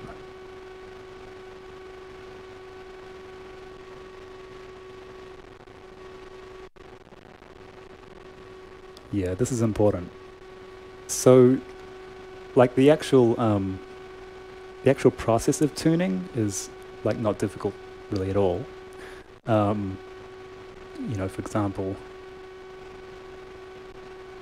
let's go here.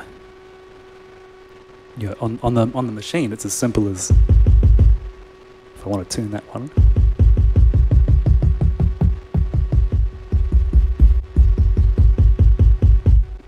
It's pretty simple. Um, when I'm playing live, I don't often retune drums on the fly um, unless I really specifically want a certain note. For example, if I'm using more of a long tail um, 808 kind of kick, then that obviously has a pitch to it that's very discernible, so I want to make sure that's in. But in that case, I'm more likely to use the keyboard.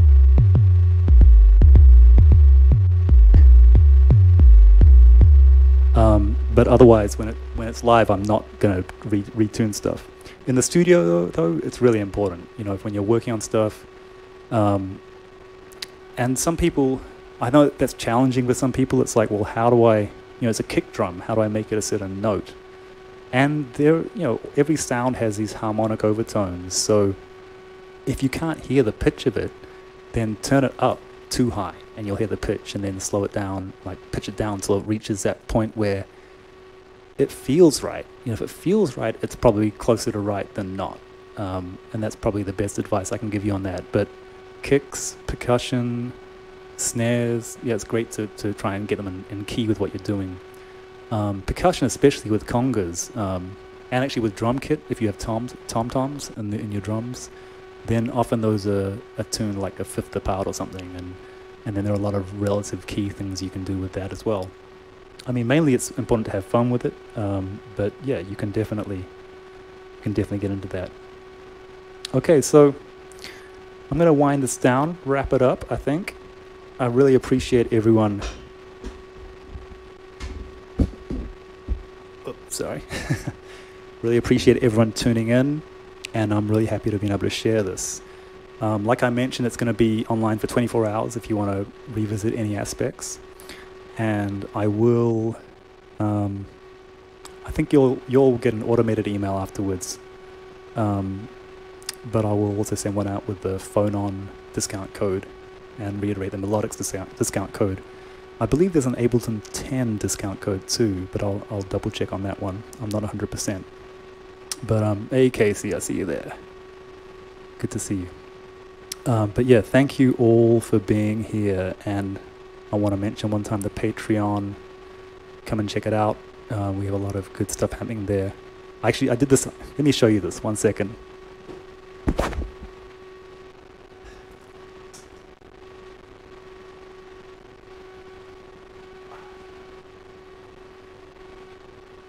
So I'm going to show you this one here. One thing on the Patreon I've been giving away is this exclusive vinyl.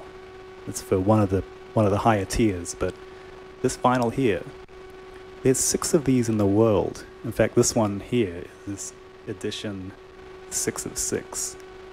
Um, so there's only six of these anywhere, and it's got a selection of some of my back catalog and then some exclusive joints on there. But stuff like that's been really fun to make, like little things that don't exist elsewhere. And the, the, the joke was when I once I made it and committed it to the Patreon, I realized that hang on, once these six are gone, there won't even be one for me. so um, I'm they're going to loving homes though, so that's cool. And um, yeah, been fun to put together. But yeah, so look, everyone, be safe out there. It's a crazy world right now, um, especially if you're in America or if you're in a country that's locked down. If you're in New Zealand, I'm jealous. I know you all are living life um, in such a in such a normal way, which is fantastic. Um, but yeah, we have some craziness here in the states, obviously, socially, politically, pandemically, economically, and everything. Um, I know London's locked down again, so you'll just you know take care of yourselves, take care of each other, and you know keep creating. I'm I'm always up for um, connecting as well. If you want to reach me, hit me up. Um, anyone who wants to do a one-on-one private session, I think there's a lesson link um, below in the description. Um, if you don't want to join the Patreon, but you just want to go straight to some some one-on-one vibes, you're welcome to. Um, I'm happy to help you out however I can, and you'll really provide some value that way. And you know, thank you again to all the brands who've helped helped us out today, supplying some goodies, Melodics, Spitfire Audio, Native Instruments, Ableton. Congratulations to the winners. Thank you, Mona Lisa, for hanging out in the live chat and looking after everyone. And um, yeah, I just wish everyone health, creativity, prosperity, peace, and, and happiness. And um, I hope to see you all in your in your home countries at some point. I imagine in 2022. But in the meantime, I'm definitely around on the interwebs and always happy to connect. So I'm gonna just gonna vibe out a little music and probably just fade to black from there and leave you all to it. So thank you once again. Really appreciate you. Let's see what happens.